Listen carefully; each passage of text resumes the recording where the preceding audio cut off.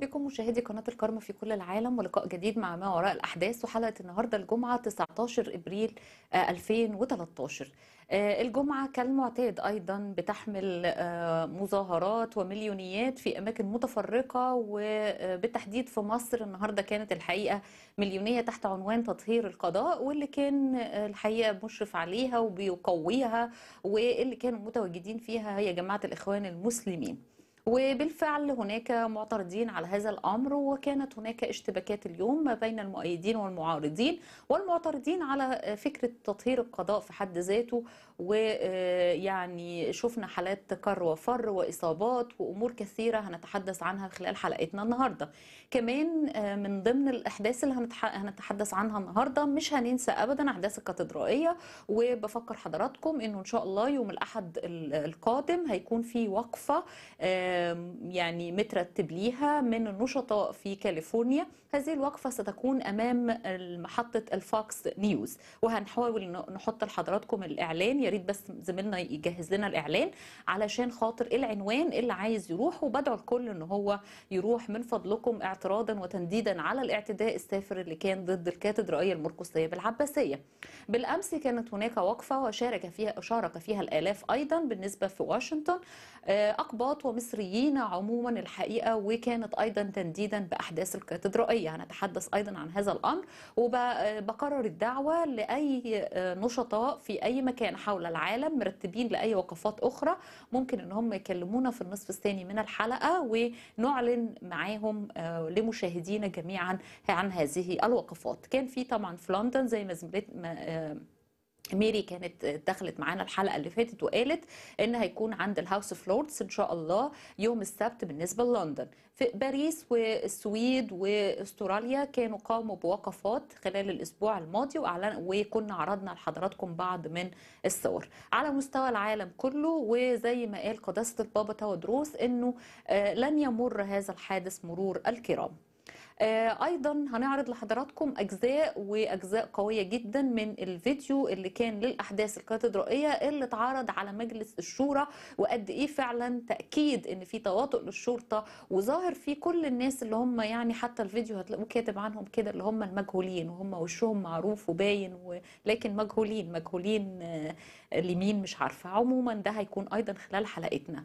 من الأمور الهامة أيضا واللي كل العالم متابعها طبعا الأحداث بالنسبة للتعرف على هوية آه، اللي قاموا بتفجير آه، آه، باستون. القنبلتين اللي كانوا عند الماراثون وبالفعل كانت ال FBI والتحقيقات هناك على قدم وساق وكانوا بدأوا من الأمس آه، يظهروا بعض الصور اتنشرت في New York Post واتنشرت في محطات عالمية كثيرة وكانوا بيناشدوا المواطنين إنه اللي اللي يعرف أي حاجة عنهم يبعت لنا وبالفعل توصلوا لي ليهم وهم اتنين إخوات من الشيشان وأيضا بيقال ان هم بيدينوا بالإسلام. وأثناء المقاومة أو أثناء مطاردة واحد منهم آه، آه، قتل في المطاردة وجاري أعتقد القبض على آه، الثاني. أو إذا كانت قبض عليه هنحاول خلال حلقتنا أيضا أقول لحضراتكم آه، التطورات بالنسبة لهذا الأمر وإذا كان متاح عندنا تقارير هنعرضها لحضراتكم. كمان آه، انفجار للأسف الشديد إن إحنا هنا الإرهاب بيمد يده وأيضا هناك نقدر نقول أمور أخرى بتحصل بتحدث يعني غصب عن الكل وهو انفجار كبير بمصنع للأسمدة بولاية تكساس الأمريكية. وكان يعني آخر أخبار أنا قريتها يعني كان بيقال إنه طلعوا 20 قتيل من آه، يعني من هذا الانفجار تحت الأنقاض وإنه في مازال حوالي 90 واحد مفقود. دي يعني ده كده كان عنوان يعني آه، قريته النهارده لكن أيضا هنتطرق لكل المتاح لينا عن هذا الحادث. في بعض الفيديوهات القوية اللي انتشرت الفترة اللي فاتت آه، كان عندنا ريهام آه، ريهام السعيد آه، كانت آه، وهي في مقابلة مع آه، الشيخ البدري آه، الحقيقة قامت وسابت الدنيا واعترضت على إن هو كمان أظهرت إن هو قبل ما يجي كان طالب ألف جنيه وفي الآخر كان بيتعامل معاها بشكل مهين. وهنحاول نشوف إيه اللي حصل والتطورات الموضوع ده في فيديو انتشر الحقيقة ولاقى نسبة انتشار عالية جدا على مواقع التواصل الاجتماعي. آه، ده يمكن ملخص هن- هنقوله النهارده في حلقتنا ونبدأ مع حضراتكم بأول آه، موضوع وهو التظاهرات والمليونية مليونية تطهير القضاء. للأسف الشديد. وحدثت اشتباكات بالخرطوش بين متظاهرين وشباب الإخوان في محيط عبد المنعم رياض شهد مقر دار القضاء العالي اشتباكات بالخرطوش والحجارة بين شباب جماعة الإخوان المسلمين ومتظاهرين. بينهم أعضاء بمجموعة, البلاك بلوك بعد أن اشتعلت النيران في ثلاث أتوبيسات للجامعة بميدان عبد المنعم رياض بدأ مشهد الكر والفر بين الطرفين بعد أن حرقت الأتوبيسات وتبادل الطرفان إلقاء الحجارة. تمركزت سيارات الإسعاف والمطافي بمحيط الاشتباكات لنقل المصابين وإطفاء الحرائق المحتمل حدوثها. أعلن محمد سلطان رئيس هيئة الإسعاف ارتفاع عدد الضحايا وصل أو عدد عفوا المصابين وصل إلى 49 مصاب وده كان آه، آخر تقارير قبل ما نبقى مع حضراتكم وإن في احتمال طبعا إن تزيد عن كده. تم نقل 10 منهم إلى مستشفيات الهلال والمنيرة ورود الفرج والساحل وباقي المصابين تم علاجهم بسيارات الإسعاف في نفس المكان. وزي ما أنتم بتشوفوا حضراتكم بعض اللقطات من هذه الاشتباكات اللي حدثت بين واللي كانت بين شارعي رمسيس وعبد المنعم رياض.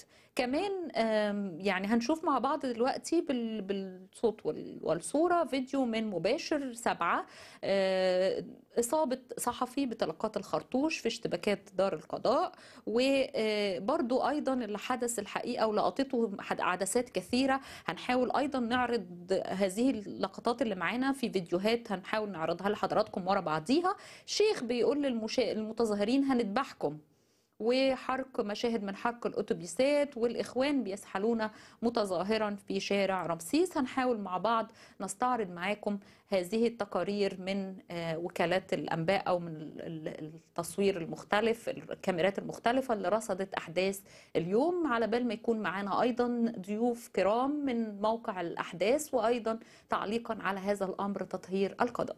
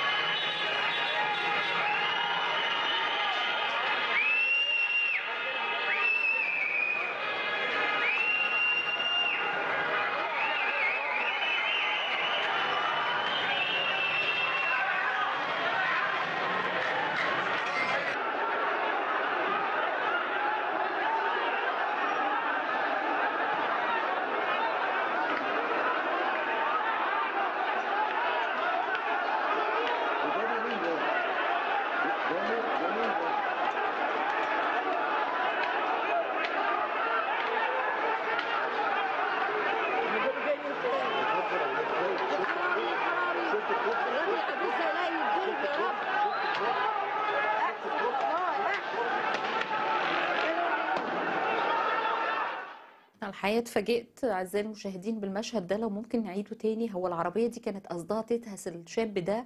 وطبعا أنتوا شايفين ال- ال- المشهد يعني معلش لو زميلنا أستأذنك بس المشهد الأخير مشهد الدهس مشهد يعني الضرب ضرب فظيع جدا. وزي ما أنتوا شايف طبعا شايفين الملتحين والشباب بيضربوا قد إيه في الشباب شاب واحد. كل المجموعة دي متجمعة عليه وبعدين أنا بس اتفاجئت بموضوع العربية ده فأنا مش فاهمة العربية دي كانت جاية عشان بهدف إنقاذه ولا جاية بهدف إن هي تدهسه ولا دي عربية بتعدي في الطريق؟ أنا مش قادرة أفهم الحقيقة إيه ده إيه المشهد ده؟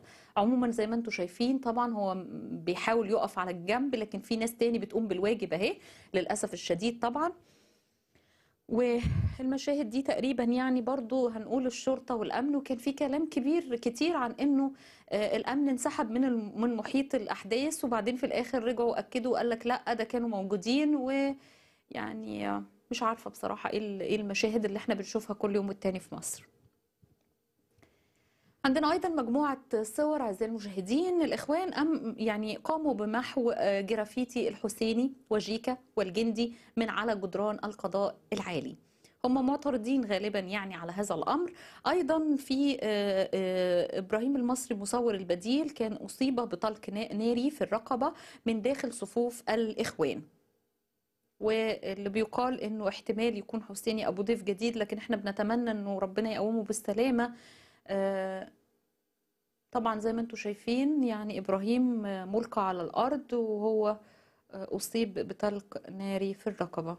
ربنا يكون معاه. إحنا معانا ومع حضراتكم الآن أعزائي المشاهدين الأستاذ محمد ال- ال- العمري آه، صحفي بالمصري اليوم ويقول لنا أيضا عن هو كان في أثناء تغطية هذه الأحداث رؤيته إيه واللي حصل إيه والأمور إلى الآن هل هديت ولا لا؟ برحب بحضرتك أستاذ محمد. حضرتك يا فندم محمود الامري يا فندم العمري؟ ألو؟ أستاذ محمود العمري؟ أيوه يا فندم تحت حضرتك أهلا بحضرتك. آه عايزين نعرف من حضرتك كنت من خلال تواجدك النهارده في محيط الأحداث آه إيه إيه اللي حصل بالظبط؟ لو تقدر حضرتك ت- ت- يعني تلقي لنا الضوء كده على مشهد كأننا كنا معاك من بداية ما تواجدت إلى الآن لو أمكن. تمام يا فندم. هو النهارده كان يوم طبعا آه، شباب الإخوان المسلمين أو جماعة الإخوان المسلمين آه، دعوا إلى مليونير تطهير القضاء أمام آه، دار القضاء العالي. ابتدت من الساعات الأولى في اذان الظهر آه، ال- المناوشات كانت خفيفة وبدأت الشوارع تتعطل شارع 26 يوليو. تمام. ابتدت المناوشات من بعد يعني من بعد ال- العصر. بدأت المناوشات في ميدان أحمد رياض ما بين أحد من أحد الثوار وما بين آه، جماعة الإخوان المسلمين عندما استطاعوا الدخول إلى بداية التحرير لفتحه. يعني الاشتباكات بدأت إنه محاولات هؤلاء اللي جايين يعني تحت عنوان تطهير القضاء حاولوا إن هم يخترقوا ويفتحوا ميدان التحرير ويروحوا على المعتصمين أو يعني هل كان في ناس موجودة النهاردة؟ أنا عارفة إن المعتصمين غالبا كله كان يعني غادر الميدان يعني حتى كان بيقال إن أبو الثوار كمان غادر. فكان في ناس متواجدة في الميدان النهاردة يا أستاذ محمود؟ فندم طبعا هم في طبعا ال- ال- المجموعة من المعتصمين أو من المجموعات القوى السياسية المعتصمه في ميدان التحرير متواجدة من منذ فترة تمام؟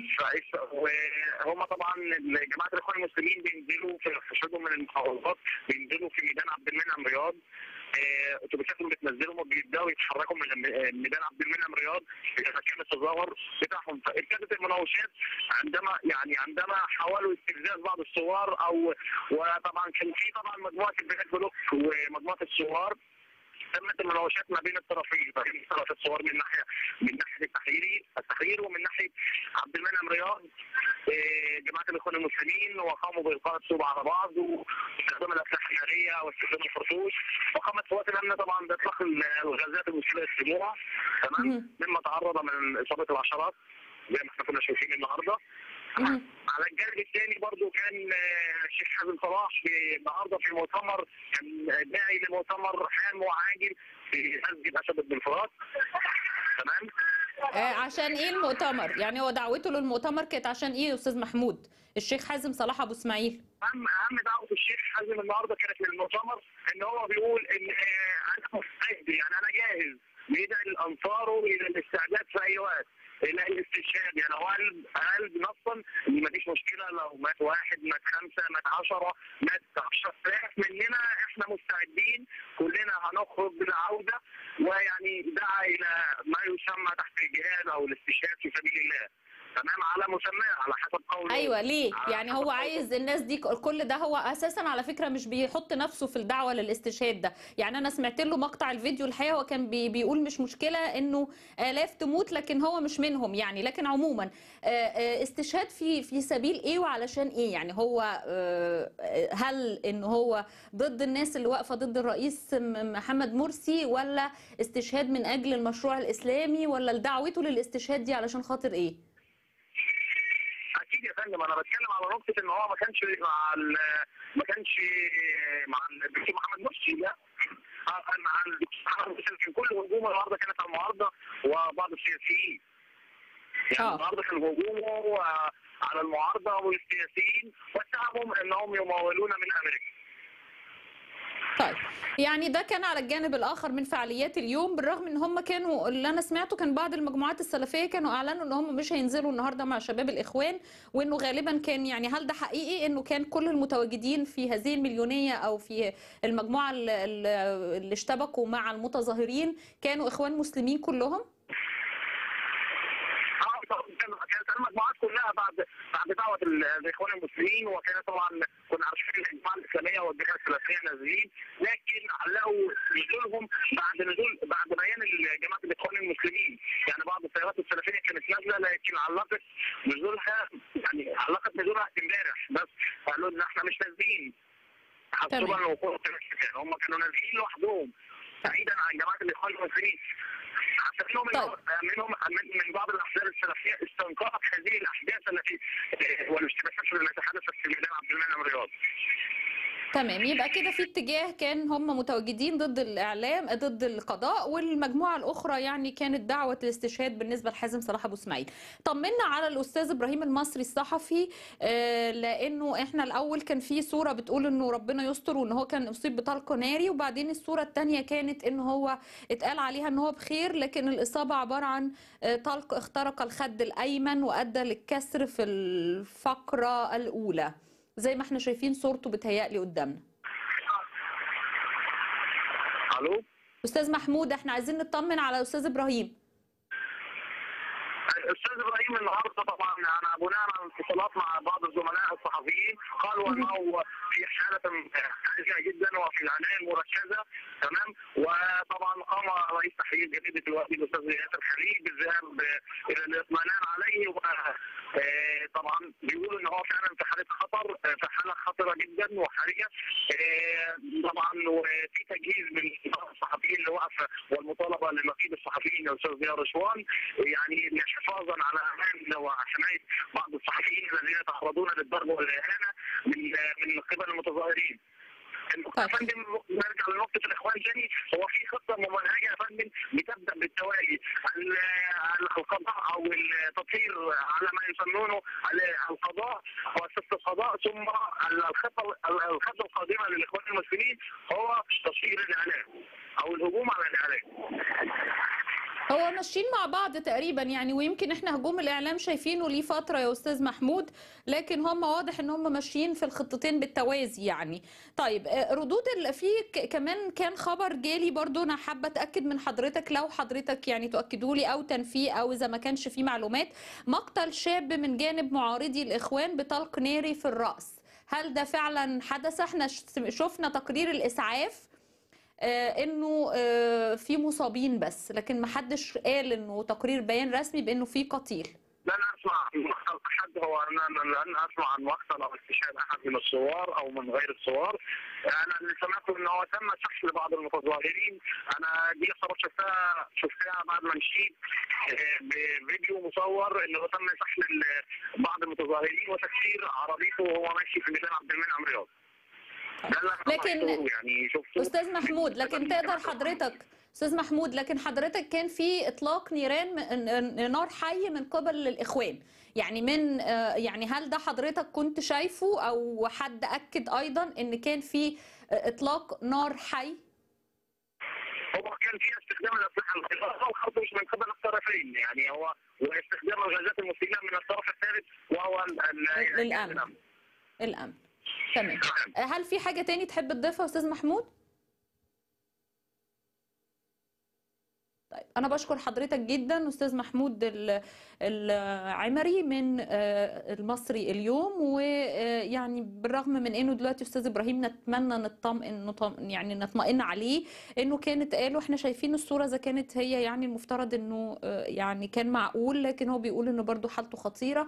عموما يعني نتمنى نتابع إن شاء الله ونطمن عليه وربنا يقومه بالسلامة يا رب. وآدي الصحفيين إذا كانت يعني زي ما بنقول في هجمة على الصحفيين والإعلاميين والقضاء والناس دي مش قادرين تفهم إن كل دي ناس بتأدي وظيفتها وإنه مش مفروض إنه يتم الاعتداء عليها ولا يتم إطلاق نيران عليهم لكن ده حال البلد للأسف.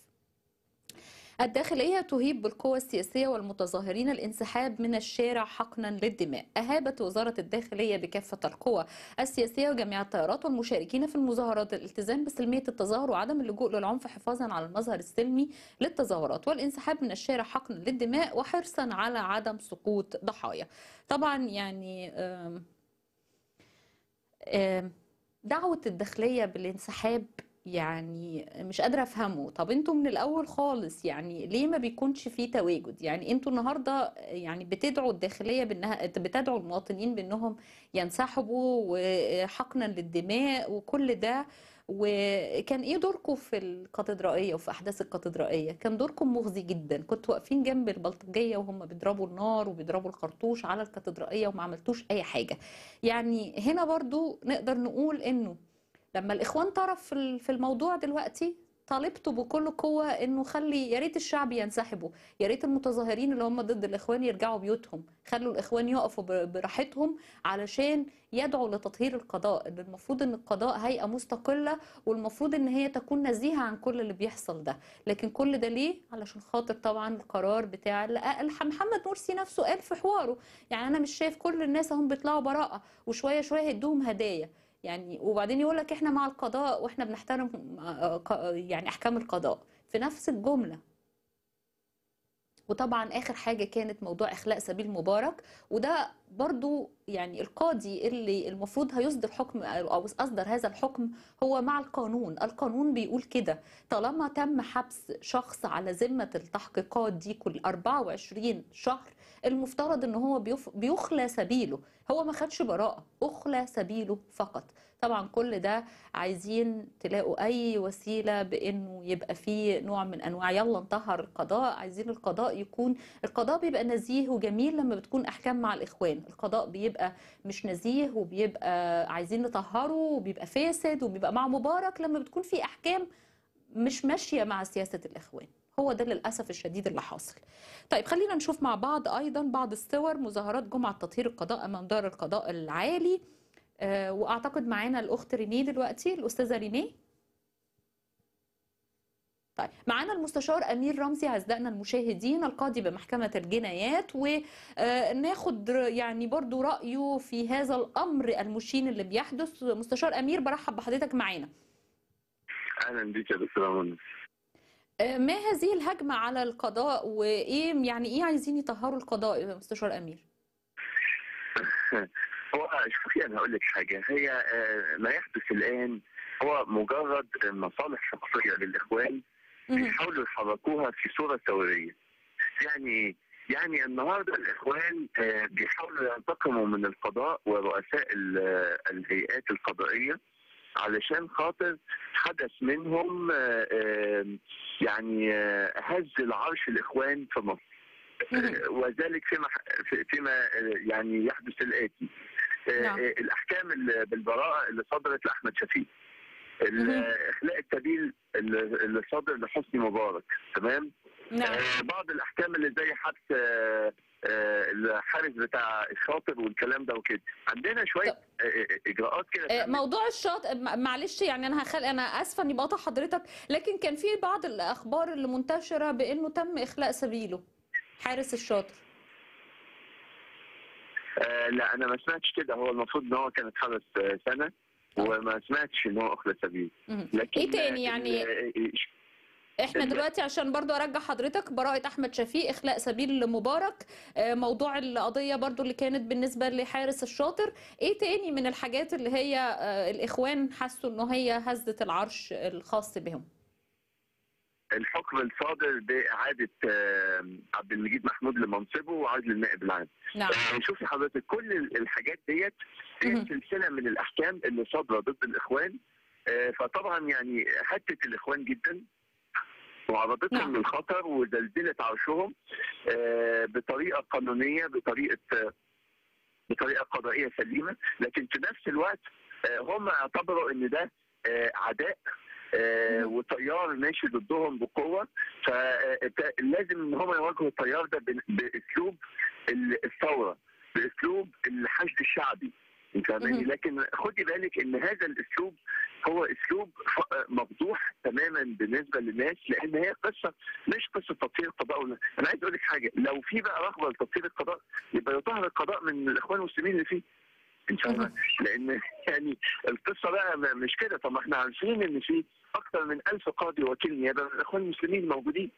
لا يعني لو لو بقى في فكر بقى آه، آه، في هذا الاتجاه. لكن في نفس الوقت إحنا عندنا آه، آه، آه، فكرة تطهير القضاء ديت إحنا عندنا في حاجة داخل القضاء اسمها التفتيش القضائي.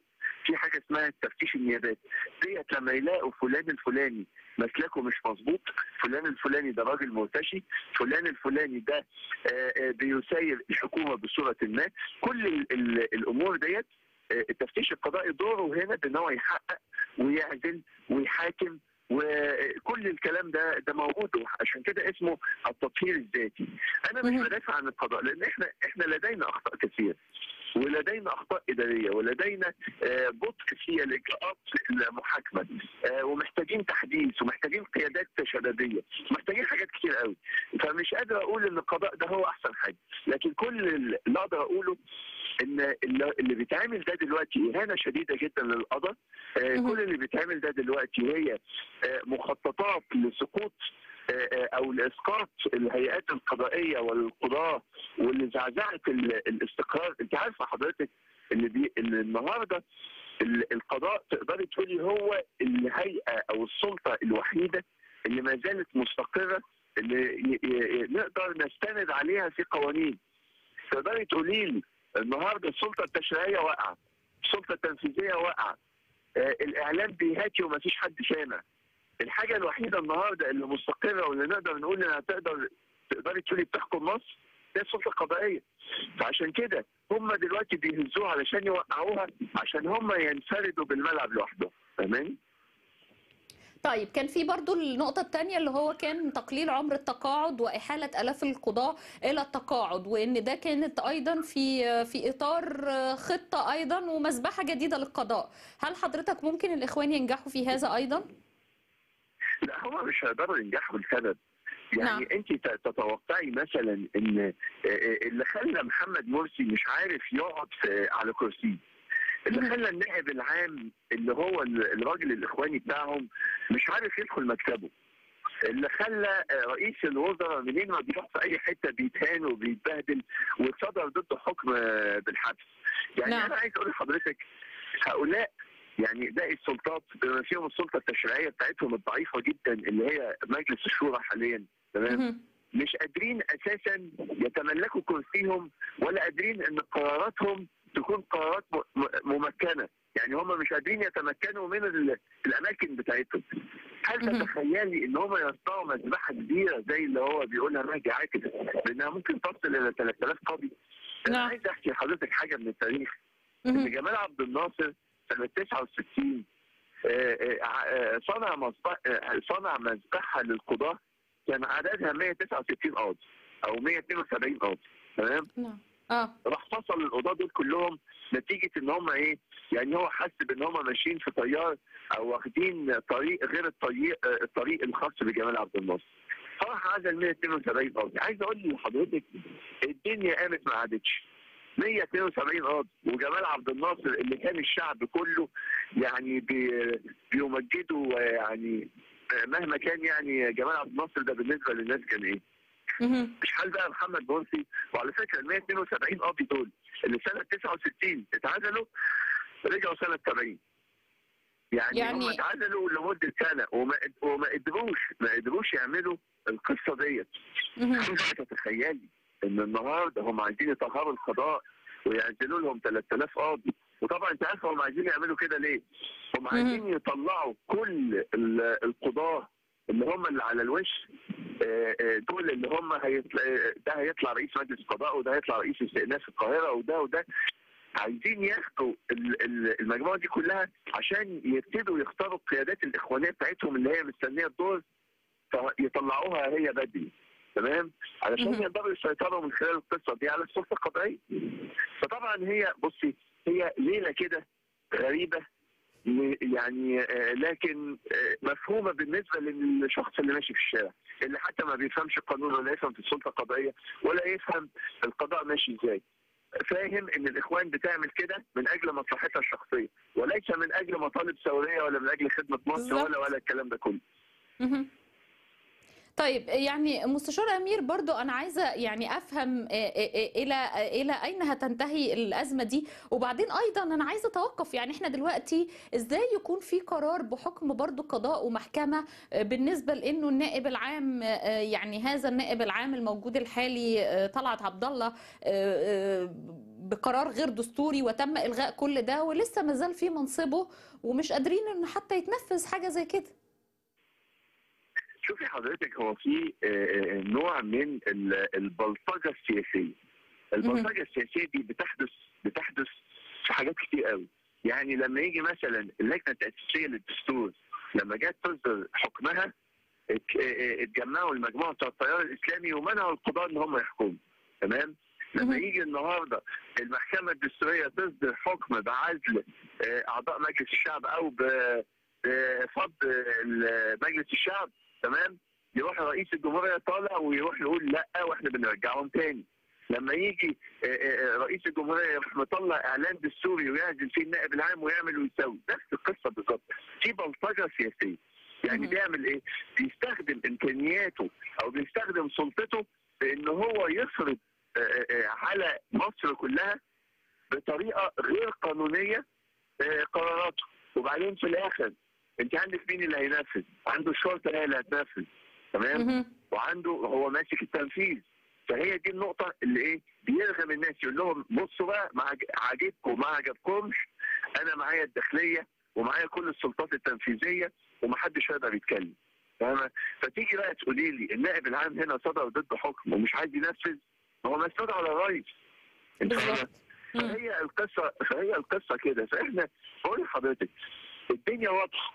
الناس عارفة إن النائب العام ده إخواني وماسك في الكرسي مش عايز يسيب فيه عشان عايز يخدم الإخوان. هو عايز يخدم مصر ده مصر كلها ضد. انت فاهمة؟ طب إيه الحل؟ يعني إيه اللي هيعملوه القضاة دلوقتي؟ يعني مستشار أمير يعني حتى على مستوى التاريخ بالرغم من انه حضرتك حكيت لي قصة العزل بالنسبة لواحد ال 172 قاضي في عهد جمال عبد الناصر لكن لم يحدث ابدا في منذ جمال عبد الناصر إلى الآن إن حصلت ما يسمى بمليونية تطهير القضاء ولا بإنه عدم تنفيذ كل هذه الأحكام اللي حضرتك سردتها. فالمفترض إن موقف القضاء هيكون إيه في هذه الأحوال؟ شوفي حضرتك هو إحنا ما نقدرش نقول الحل إيه؟ لأن الحل النهارده بقى أصبح إيه؟ إحنا لما نيجي نتكلم بالقانون نقول ما فيش قانون نقدر نطبقه في ظل آه، لا قانون. يعني إحنا. دلوقتي ما عندناش قانون نقدر نل... يعني نلتجئ إليه هو اللي يساعدنا في حل المشكلة دي. ده دي رقم واحد. هتيجي نقول طب أحكام قضائية نقدر إن إحنا ننفذها. هيجي يقول لك هيستخدم البلطجة السياسية لوقف الأحكام القضائيه فإحنا آه، أي حاجة شرعية مش نافعة. فبقينا النهارده إيه؟ الناس بقت بتنزل الشارع وتحشد وتعترض وتتكلم بنفس اللغة الثوريه اللي هم بيحاولوا النهارده يستخدموها لتطهير القضاء. حقيقي إحنا في أزمة سياسية طاحنه نعم. وفي مشكلة كبيرة جدا جدا لا إحنا قادرين نستخدم الشرعيه ولا إحنا قادرين إن إحنا آه، نعالج بطريقة غير شرعية عارفة ليه؟ لأن ال- الأشخاص المدنيين مش بتوع أكل أنت فاهمة آه. يعني عارفة لو لو لو الأشخاص المدنيين دول آه، تقدري تقولي إن هم بيشيلوا سلاح ويقدروا يقتلوا فلان ويعملوا كذا والكلام ده كله كانت الصورة هتتغير كانت القصة مهم. هتتقلب بصوره لكن ال ال يعني آه نقدر نقول باختصار إن الحل في الحشد آه، الشعبي في الشوارع ال- بقدر الإمكان في صورة ثورة آه، في صورة آه، آه، إصرار وعزيمه و- ومحاولات ضغط دولية آه، بكل الطرق لأن طب أنا سمعت عن الموضوع ده مستشار أمير أنا سمعت ان في بعض القضاة برضو ناويين يدولوا هذه القضية وهذه الهجمة ضد القض- القضاة. هي على فكرة هي متدا يعني هي واخده وضع دولي من بعد الاعتداء اللي حصل على المحكمة الدستورية العليا واخده وضع. دولي وكان حصل نعم. إن المحاكم الدستورية على كانت- مستوى العالم شجبت ما حدث من آه، آه، آه، مواد الدستور اللي صدرت أخيرا وعزلت بعض من قضاة المحكمة الدستورية زي المستشاره تهاني الجبالي وفي نفس الوقت آه، ما حدث من الالتفاف والاعتداء على المحكمة الدستورية عشان ما تصدرش حكومات بتاع اللجنة التاسيسيه للدستور. يعني يعني بالفعل تم الموضوع في إطار التدويل وإنه يعني آه، المفترض إنه نشوف بقى هيحصل متى ستنتهي هذه البلطجة ال- السياسية طيب لحضرتك أي تعليقات أخرى عن أي مواضيع وخصوصا موضوع الكاتدرائية؟ يمكن أيضا إحنا عايزين نشوف الأمر هيمشي فيه إزاي بالنسبة للتحقيقات وبالنسبة للقضاء. إحنا كنا قدمنا فيلم آه، بيوضح آه، الاعتداءات اللي على الكاتدرائية وأتمنى إن أنتوا تاخدوه تعرضوه إحنا جايبين منه جزء النهارده. مستشار أمير أنا الحقيقة مجرد ما شفت هذه هذا الفيلم هو مدته حوالي 14 دقيقة يعني نفسي فعلا نعرضه كله لو قدرنا. لا- لأنه فعلا بصراحة يعني بيأكد بلا بدون أدنى شك الموقف كان إزاي؟ والناس اللي بتمشي من وسط أمناء الشرطة ومن وسط الأمن ومعاهم السلاح وبيحطوا السلم ويطلعوا. يعني كل الأحداث اللي كانت بتتحكى كلها واضحة جدا جدا في هذا الفيديو. فماذا بعد هذا الفيديو؟ وماذا بعد إن اتعرض على مجلس الشورى وإنه المفترض يكون تحت إيد القضاء دلوقتي؟ حضرتك يعني أنا أنا بندهش إن بعد فيلم زي كده لما إحنا عرضناه وإحنا عملنا مؤتمر صحفي على فكرة يعني حاز اهتمام كثير من القنوات وال- والإعلام وال- وجهات مختلفة. آه، آه، ومع ذلك إن نفاجئ بإن في أشخاص تم ضبطهم ما لهمش دعوة بالليل خالص. ومش. بس كده والأشخاص اللي تم ضبطهم من أجل الفكرة الفاشلة اللي بتقوم بها الداخلية وهي اسمها فكرة التوازن في ضبط الجناه. يعني إيه التوازن؟ يعني إن هم يقبضوا على مسيحيين ومسلمين علشان خاطر ما يقولوش إن إحنا بنقبض على المسلمين بس. طب ليه يا جماعة؟ طب ما الجناه اللي ارتكبوا الواقعة وقعه الاعتداء على الكاتد- الكاتدرائيه مسلمين. الجناه اللي ارتكبوا واقعة الخصوص مسلمين. تمام؟ ليه. ال- آه، دور المسيحيين فيها إحنا مش هنقول بقى كبير ولا قليل ولا وضعهم إيه لكن ليه الفكرة بتاعت توازن ضبط القضاء آه، ضبط الجناه دي حاجة غريبة جدا. يعني دي وبيقول لك إن هم. يعني إن هم كانوا بيضربوا برضو عليهم وإنه في منهم اللي يعني أنا أنا سمعت يعني إنه كان برضو في منهم من الاباط في كان معاه حد معاه سلاح أو أو خرطوش من جوه. طيب هو ال- الموضوع ده استمر حوالي خمس أو لسبع ساعات هذا الهجوم. المفترض إن المسيحيين اللي جوه الكاتدرائية يعملوا إيه؟ يقفوا ويقولوا لهم يلا اضربونا واقتلونا وكملوا مسيرتكم؟ ولا المفترض إن يكون في دفاع طالما ان هم شايفين الأمن مش بيدافع؟ يعني المفترض كان شباب الأباط يعملوا إيه مستشار, مستشار أمير يعني؟ أنا مش فاهمة. أنا كنت عايش أنا كنت عايش في الواقع وشايف بعينيا يعني عايز أقول لك إن حاولت مرة واثنين وثلاثة إني. أحاول إني أمنع الشباب من الرد وما كنتش قادر عليهم. وهم نفسهم قالوا لي يا سياده المستشار إحنا مش عيال جبنة ولا ضعفة ولا مش عارف إيه. راحوا شتموا نفسهم علشان خاطر إن ما نقفش ولا ندافع عن كنيستنا لقيت نفسي بقى أنا الراجل يعني اللي ضعيف في وسطيهم اللي. بقول لهم لا ما تردوش خلينا إحنا نتضرب. يعني طبعا كان إيه مع الشباب ومع الثورة ومع العصبية اللي حدثت ومع جريمة القتل بتاعت الخصوص وكمان شايفين عيال في وسطهم اتقتلوا وعيال في وسطهم اتضربوا على أبواب الكاتدرائية وجوه الكاتدرائية. فطبعا أنت بتتكلمي على مشهد صعب جدا. طالبة منهم إن هم يكتفوا إيديهم ويسكتوا وما يردوش أمر صعب جدا. إحنا حتى القانون يعني القانون قال لنا إن في حاجة اسمها الدفاع الشرعي. الدفاع الشرعي لما. يدخل واحد عليك يموتك بمطوة يضربك بمطوة أو يضربك بمسدس القانون ادالك الحق انك تدافع عن نفسك. تمام؟ وتدافع عن. نفسك يعني ده والدفاع الشرعي ده يديكي براءه تمام؟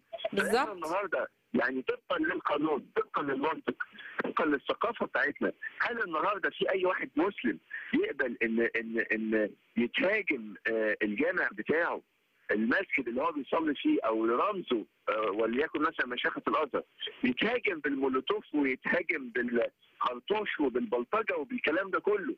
ويقف يتفرج أمر صعب. إحنا مش بنشجع حد إن هو يضرب بسلاح أو يعور أو يقتل لا أو هنا هنا. دفاع. يعني زي ما حضرتك قلت دفاع عن ال- ال- الرمز بتاعهم دفاع عن نفسهم. ما هم بيتضربوا. الكنيسة والكاتدرائيه بتتضرب. يعني فإحنا إحنا مش بنقول بنشجع لكن الدفاع مشروع. ده كلام حقيقي.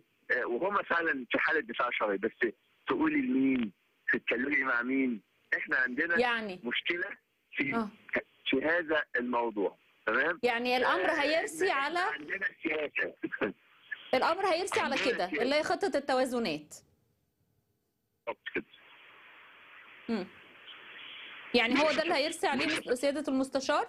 يعني ما نتو... ما, نت... ما ننتظرش إنه هيكون في مثلا ضبط للعناصر اللي إحنا شايفينها قدامنا للناس اللي كانوا ماشيين في وسط الأمن ده في وسط هذه الأحداث مستشار أمير. سمعنا كمان إنه الأمن بيحاول إنه يقنع الناس دي إنها تبعد عن الكاتدرائية. يعني شايفهم بأسلحة وشايفهم بخرطوش وشايف وبيقنعهم مش بيقبض عليهم. كان بيتشاور معاهم وبيقنعهم إنهم يبعدوا. طب يعني هل ده منطق؟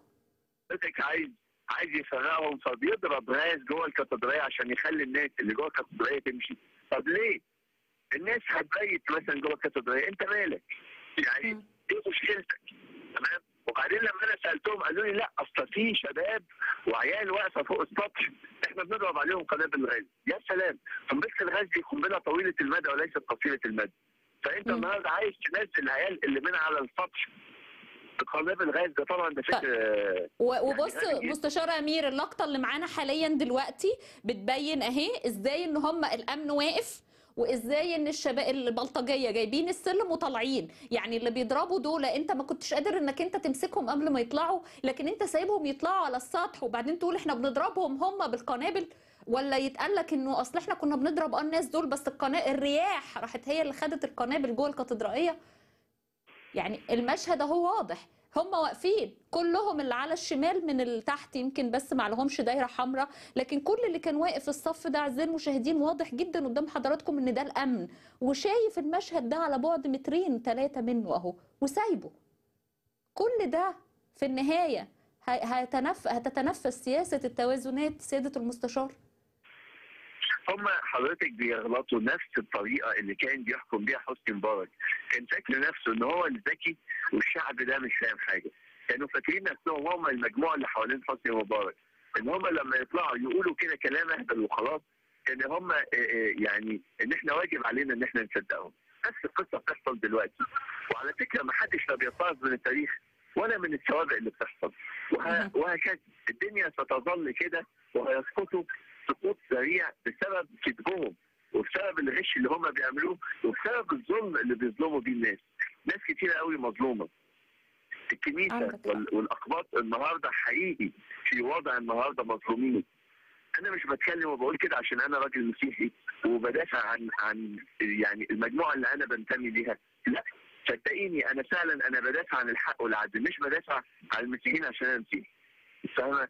الحق. والعدل فعلا لأي واحد. يعني أنا تأثرت جدا بفيلم فيديو أنا شفته لمدة ثلاث أربع دقائق واحدة مسلمة وقفت قدام باب الكاتدرائيه ورفعت شعارات قوية جدا وقعدت تشتم في ال ال هؤلاء ال- المعتدين بصورة يعني لدرجة إن الناس افتكرت إنها فيها ازدراء أديان يعني يعني يعني هي بتصنع يعني فتنة أو بتزدري بالدين الإسلامي.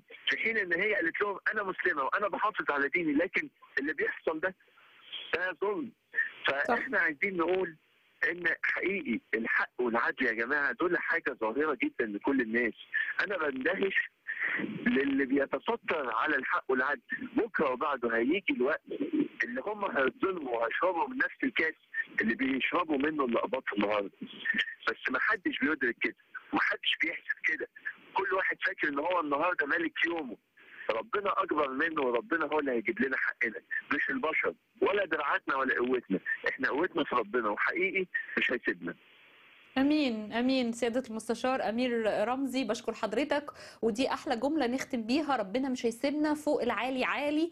آه، مستشار أمير رمزي القاضي بمحكمة الجنايات وتحدثنا عن موضوع الهجمة على القضاء وأيضا آه، سياسة التوازنات في أحداث الكاتدرائيه وأثناء حوارنا يمكن شفتوا أعزائي المشاهدين قد إيه المشاهد القوية جدا من هذا الفيديو اللي رصد أحداث الكاتدرائيه بالصوت والصورة. يعني ما فيهاش شك ولا فيها تلفيق ولا فيها ناس بتكذب لكن فيها الحقيقة باينة. بس مين اللي يشوف ومين اللي يحقق العدل؟ هي دي المشكلة اللي إحنا بنعاني منها. يعني إحنا بنشكر سيادة المستشار جدا على وجوده معانا. ونعود بقى آه، نروح نسافر الإسكندرية وإيه اللي حصل النهاردة أيضا في الإسكندرية؟ تظاهر المئات من أعضاء جماعة الإخوان المسلمين وزراعها السياسية حزب الحرية والعدالة وعدد من القوى الإسلامية ال- ال- اليوم أيضا أمام مسجد عصر الإسلام بمنطقة سيدي جابر استجابة للدعوة إلى تطهير القضاء ردا على الحكم الذي صدر قبل أيام بإخلاء سبيل الرئيس السابق محمد حسني مبارك في قضية قتل المتظاهرين. وهنشوف مع حضراتكم مجموعة من الصور اللي كانت النهاردة في الإسكندرية.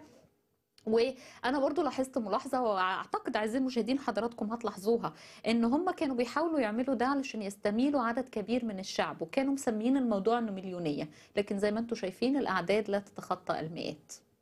يعني أعتقد ده واضح جدا سواء في المشاهد اللي شفناها بالنسبة للمنطقة عند دار القضاء العالي أو هذه المشاهد. زي ما أنتم شايفين الكل أعداد قليلة وإنه الشعب بقي واعي وفاهم وإنه كل اللي بيتعمل ده علشان سياستهم علشان حفاظ على كراسي ما بقتش الناس غبية. وفي نفس الوقت اللي ذكره المستشار أمير من السيدة اللي كانت واقفة قدام الكاتدرائية وبتحمل شعارات وبتقول إن هي مسلمة وإن ده إن هي مش راضية على اللي بيحصل كتير جدا من إخواتنا المسلمين قالوا هذا الكلام. ما ما تفعلونه أنتوا جماعة الإخوان وكل اللي بيحصل ده من شرطة الإخوان أيضا ده بيعتبر ازدراء للإسلام. في كتير بيفكروا إنهم يرفعوا عليهم قضية ضد ده. اللي بيحصل ده اللي هم بيعملوه ده كله ده يعني في وجهة نظر إخواتنا المسلمين إنه ازدراء لل- لل- للدين الإسلامي. قبل ما يكون كمان اضطهاد للأقباط وقبل ما يكون قتل وس- و- و- ويعني وإثارة شغب وقبل ما يكون كمان آه، يعني هجمة وعلى الكاتدرائية وعلى غيره وعلى غيره زي ما إحنا بنشوف. هنروح كمان للشرقية والشرقية المتظاهرون قطعوا الطريق أمام مقر الإخوان والأمن واصل إطلاق قنابل الغاز و ده كان برضو في نفس المشهد نتيجة للدعوة اللي إحنا اللي اتقالوا عليها بالنسبة لتطهير القضاء. شهدت منطقة آه، شهدت شارع شارع عبد العزيز علي بمدينة الزقازيق يعتبر أيضا قر وفر بين الأجهزة الأمنية وكان في إطلاق قنابل مسالة للدموع وده بعد ما تجمهر العشرات من القوى الثورية أمام الجماعة في آه، في محاولة لاقتحامه ورددوا العديد من الهتافات هنا ده كان رد فعل في الشرقية ضد الإخوان. وضد الفعاليات اللي عملوها وضد التجمهرات اللي هم متجمهرينها ضد القضاء. فكان رد من الثوار بالنسبة لأن هم الهجوم على مقر الإخوان لكن طبعا الأمن مش بيسكت في الحالة دي وهاجمهم بالكثير من آه، قنابل الغاز المسيلة للدموع. الإخوان والقضاء آه، الحقيقة أنا عايزة بس يعني عشان ننتهي من هذا من هذا الخبر وننتقل للأخبار الأخرى إنه نفكر حضراتكم هي كان فيها فيضات على فكرة ضد الزند وكان في شعارات بترفع ضد المستشار ال- أحمد الزند منها مثلا إن كانوا بيقولوا له يا زند يا رئيس النادي آخرك شاي وعصير وزبادي. كانوا رافعين يافطات اليافطات التانية بتقول الشعب يريد تغيير السلطة القضائية وإقالة وزير العدل ومحاكمة الزند والمستشار عبد المجيد محمود وإنشاء محاكمات ثورية أنا بفكر حضراتكم مشاهدينا للكلام اللي كان بيقوله آه، دكتور محمد مرسي قبل ما يكون رئيس عن المستشار أحمد الزند. خلينا نفتكر كده وأكيد إحنا كله بيعرض حاجات كتير قبل وبعد. الإخوان قبل الثورة كانوا بيقولوا إيه وقالوا إن إحنا مش هنشارك وبعد الثورة بقى هم الثوار والثورة نجحت وأول رئيس مدني منتخب هو الدكتور محمد مرسي بناء على الكتاب العبقري آه، الرئيس مرسي يبني مصر من جديد. نشوف مع بعض كلام الرئيس مرسي عن المستشار أحمد الزند. المستشار أحمد الزند شخصية محترمة مقدرة. هو ونادي القضاة له دور كبير النادي طول عمره. النادي ده اللي وقف قدام التزوير في 2005 إحنا ما نسيناش. ال- القضاة دول هم اللي عدلوا الموازين. مجلس الدولة هو اللي حكم الأحكام الكتير اللي أسقطت عمليا وإن لم تكن هم فعليا اللي وقفوا في انتخابات البرلمان. 2010 ما هو أنا بقول هم المجلس الدولي مم. هم اللي أشرفوا على الانتخابات الأخيرة. بالظبط. القضاة هم ميزان الوطن. مم. وبالتالي لا أوافق بتاتا على طيب يعني زي ما أنتوا سمعتوا كده يعني الحقيقة ده كان كلام الدكتور محمد مرسي وغالبا كان في الفترة تقريبا أنا مش فاكرة مش متذكرة يعني الفترة بالظبط بتاعت هذا الفيديو لكن غالبا كانت أثناء تقريبا الحملة الانتخابية يعني غالبا عموما. خلينا طيب نطلع مع بعض فاصل سريع علشان لسه عندنا أخبار كتيرة فبستأذن بس زمايلي يكون فاصل سريع علشان لسه زي ما قلت لحضراتكم عندنا تفجيرات بoston عندنا موضوع مصنع الأ- انفجار مصنع الأسمدة. آه، عندنا أمور كثيرة عايزين نناقشها معاكم وانتظرونا وما تروحوش هنا ولا هنا.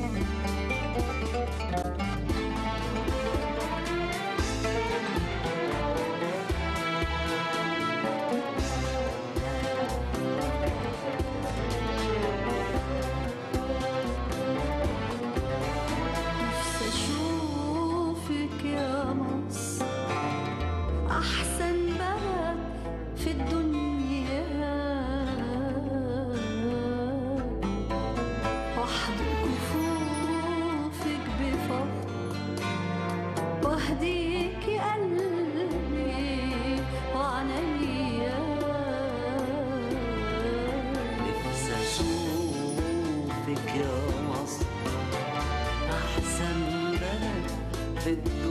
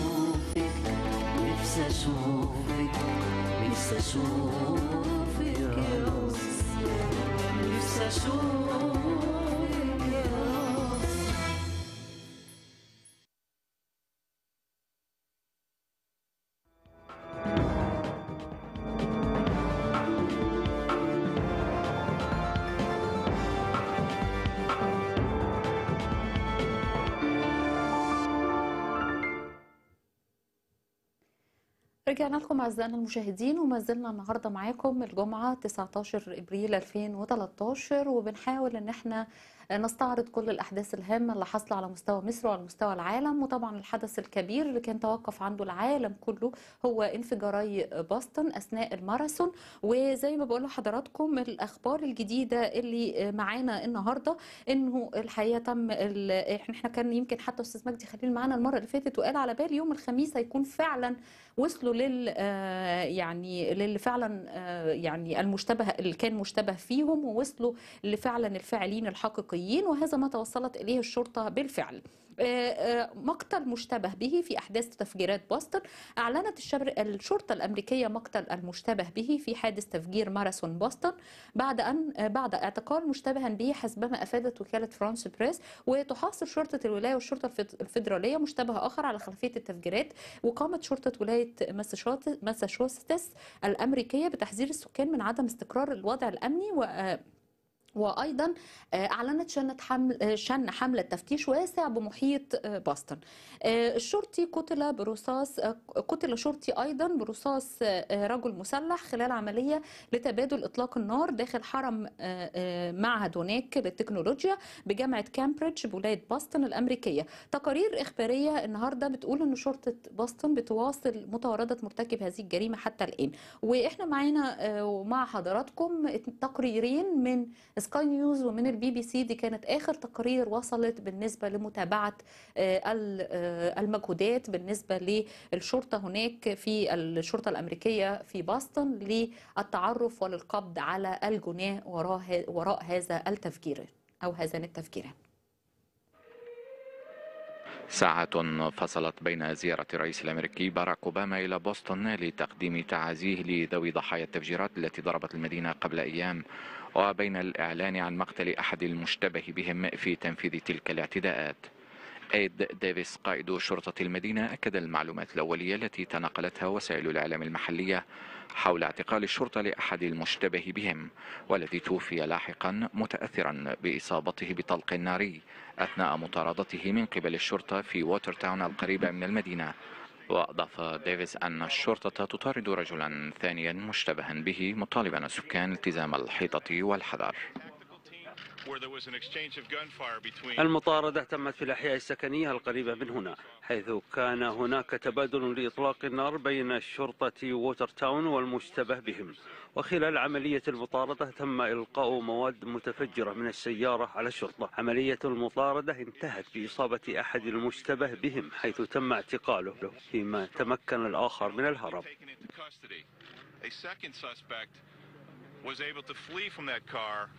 ليلة بوسطن وووتر تاون القريبة من المدينة كانت ساخنة بحضور مكثف لرجال الشرطة واستنفار في كافة أجهزة الأمن داخل المدينة حيث أعلن عن توقيف مؤقت لوسائل النقل العام وإغلاق العديد من الطرق الفرعية ريثما تنتهي عمليات البحث عن المشتبه به الفار والذي وصفته الشرطة بالخطير والمسلح بأمر من حاكم المدينة ديفال باتريك.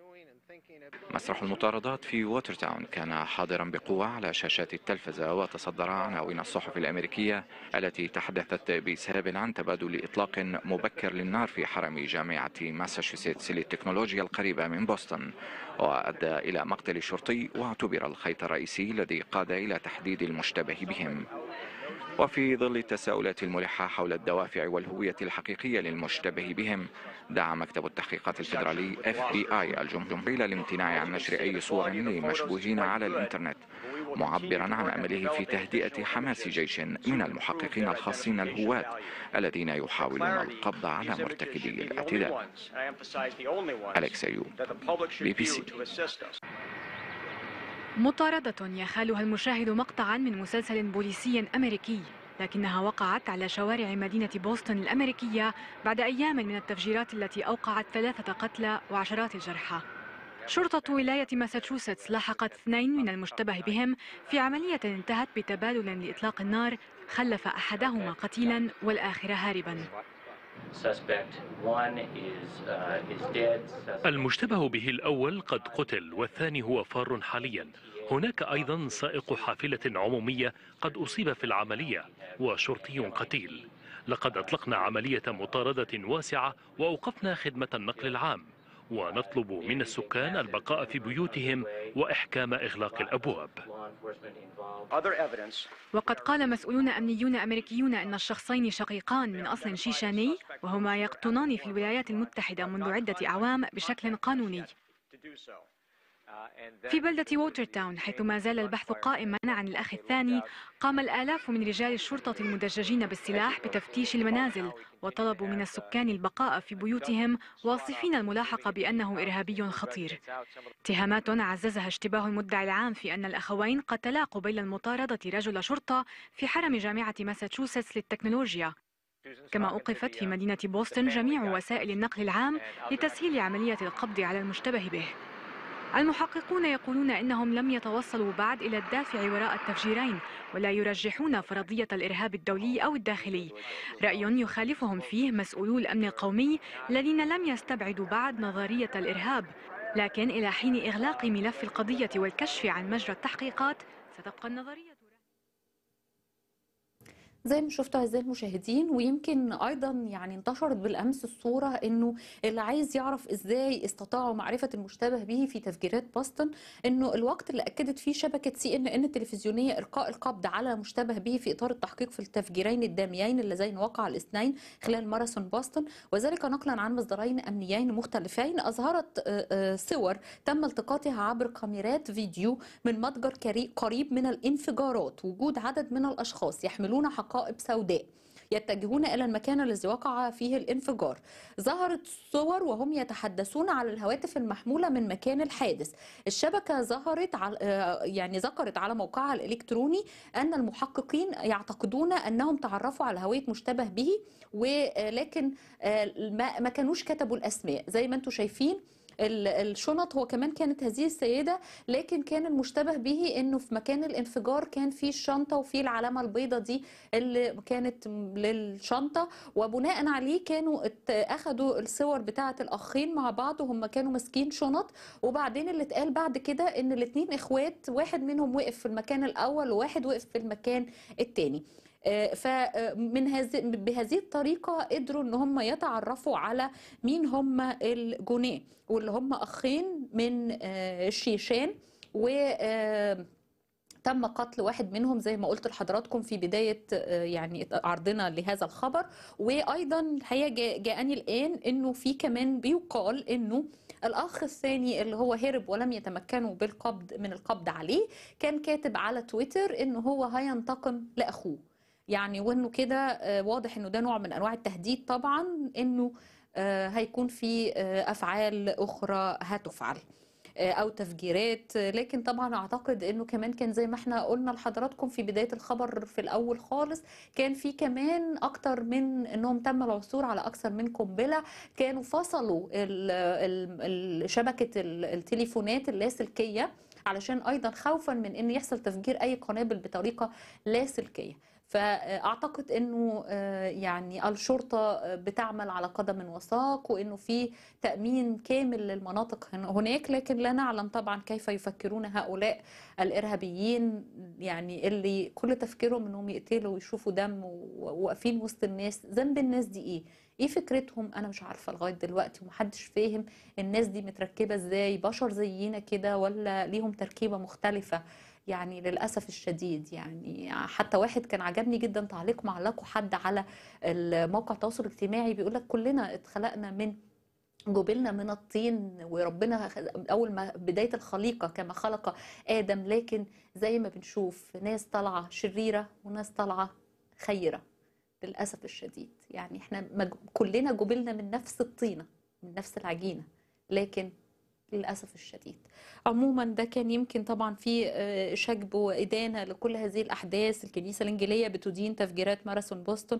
الدكتور القس صفوت البياضي رئيس الكنيسة الإنجيلية آه، أرسل اصدر عزاء خاص لضحايا تفجيرات ماراثون بوسطن وصدر العزاء باللغة العربية والإنجليزية بالنيابة عن الطائفة الانجليزيه الإنجيلية في مصر. نعرب عن خالص تعازينا ونحن نصلي من أجل الضحايا وأسرهم لهؤلاء الذين فقدوا أرواحهم أو جرحوا والذين يعانون الفقد والحزن أن يمنحهم الله القوة والصبر على احتمال مصابهم ونحن ندين قسوة وحشية هذا العمل المأساوي الذي يمتد اذاه ليس فقط لأولئك الذين وقع عليهم بشكل مباشر وإنما يؤلمنا جميعا. الجميع الطوائف الحقيقة نددوا أيضا نيافة الانبا سرابيون هنا كان أصدر بيان أيضا بالنسبة في الولايات المتحدة الأمريكية من و... من كاليفورنيا. آه، أيضا قداسة البابا تواضروس. الجميع فعلا والبابا فرانسيس. الكل على مستوى العالم بيشجب ويدين هذا الفعل الحقيقة آه، ال- الإرهابي الشنيع.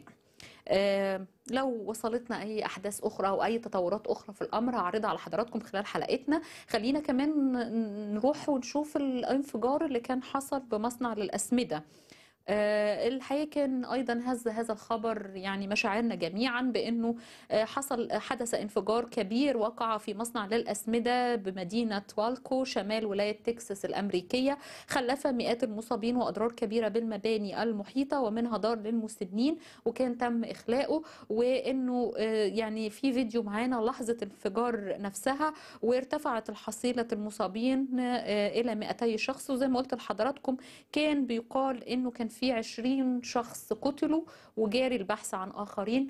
ونشوف مع بعض لحظة انفجار آه، هذا المصنع.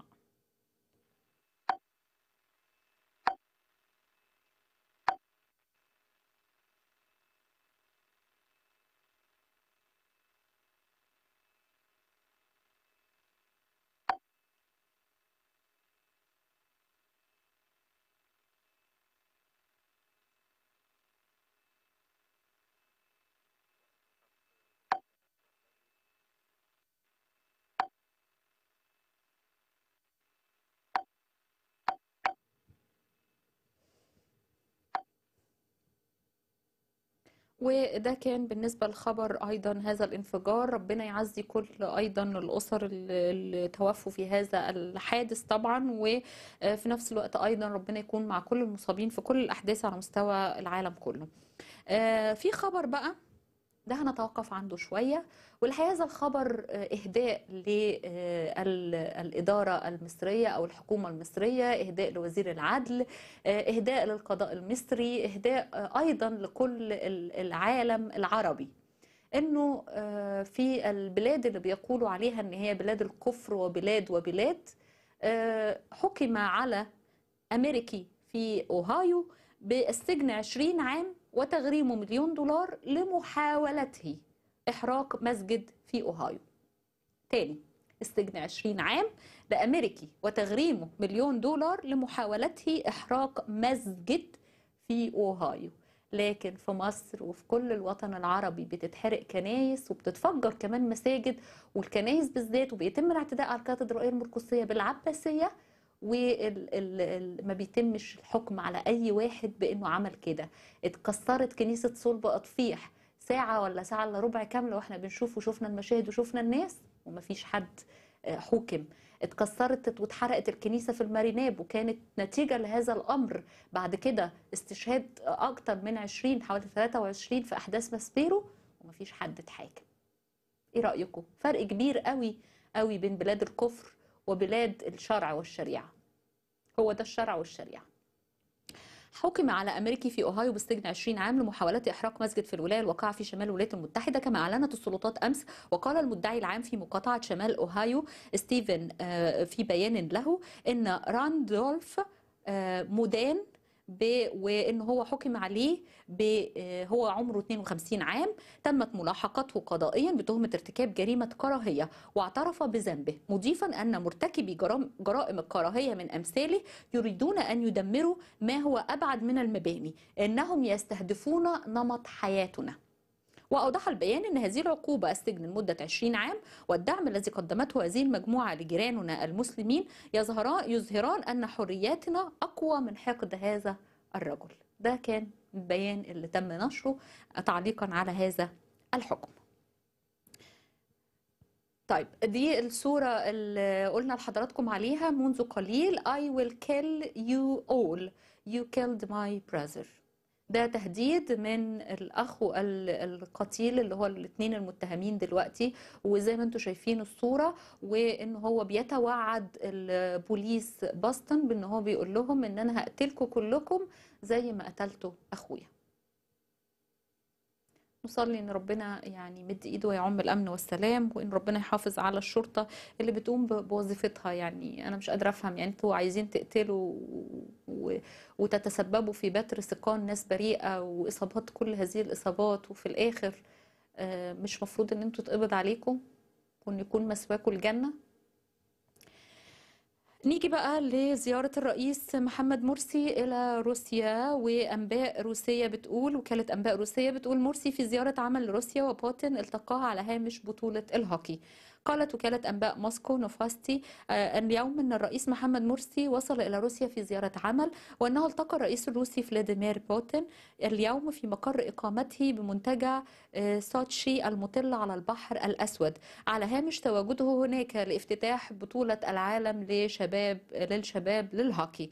آه، نقلت الوكالة عن الخبير الروسي آه، بوريس عندما سئل عن توقعه بأن تمنح روسيا مصر قرضا ماليا قال أنه يرى أن مصر تتطلع إلى الحصول على قروض من روسيا التي لا تضع شروطا قاسية على قروضها مثل الشروط التي يضعها صندوق النقد الدولي أو الاتحاد الأوروبي. وكان بيقال أنه هو طمعان في آه، عدد يعني مبلغ كبير تقريبا بيصل إلى آه، مليار دولار آه، بالنسبة إنه روسيا تدعم بيها آه، مصر كقرض. آه، صحفي آه، الحقيقة في جريدة من الجرائد الروسية حدث اليوم زلزال ضرب جزيرة روسية والصحفي علق على هذا الخبر هذا الزلزال كان ضرب آه، جزر روسية بقوه سبع درجات وهذا الصحفي الحقيقة بيقول أقوال المصريين عن نحس مرسي لم تكن مزحة. ده تعليق لصحفي روسي على الزلزال اللي حدث النهارده على هامش زيارة الرئيس محمد مرسي لروسيا. إحنا أيضا كنا متابعين وقلنا لحضراتكم الحلقة اللي فاتت عن الخبر اللي كان آه، نقل الرئيس السابق مبارك بعد ما ظهر طبعا ضاحكا وبصحة جيدة. آه، كانت مساعي كبيرة جدا علشان يتم نقله من مستشفى المعادي العسكري العسكري إلى مستشفى سجن ترى وبالفعل تم نقله. ولكن كان هناك طبعا أنصار مبارك كان هناك اعتراضات كثيرة جدا. آه، كانوا بيحاولوا يمنعوا على خروج عربية الإسعاف لنقله إلى مستشفى سجن ترى وكتبوا اسمه بالنار أمام مستشفى المعادي. وأيضا كانوا يهددون بإشعال النيران بمستشفى آه، المعادي وممكن نشوف أجزاء آه، سريعة كده من هذه الفعاليات اللي كانوا متجمعين أمام المستشفى المع... مستشفى المعادي العسكري. وتم على فكرة غلق الطريق هناك فترة أيضا. وكل ده كان اعتراض على نقل الرئيس السابق مبارك لمستشفى سجن ترى وكان في تقارير بتقول إن مستشفى السجن هناك أيضا غير صالحة لمتابعة حالته. نشوف مع بعض بعض الأجزاء من الفعاليات اللي كانت بالنسبة لأنصار مبارك لمنع نقله إلى مستشفى سجن ترى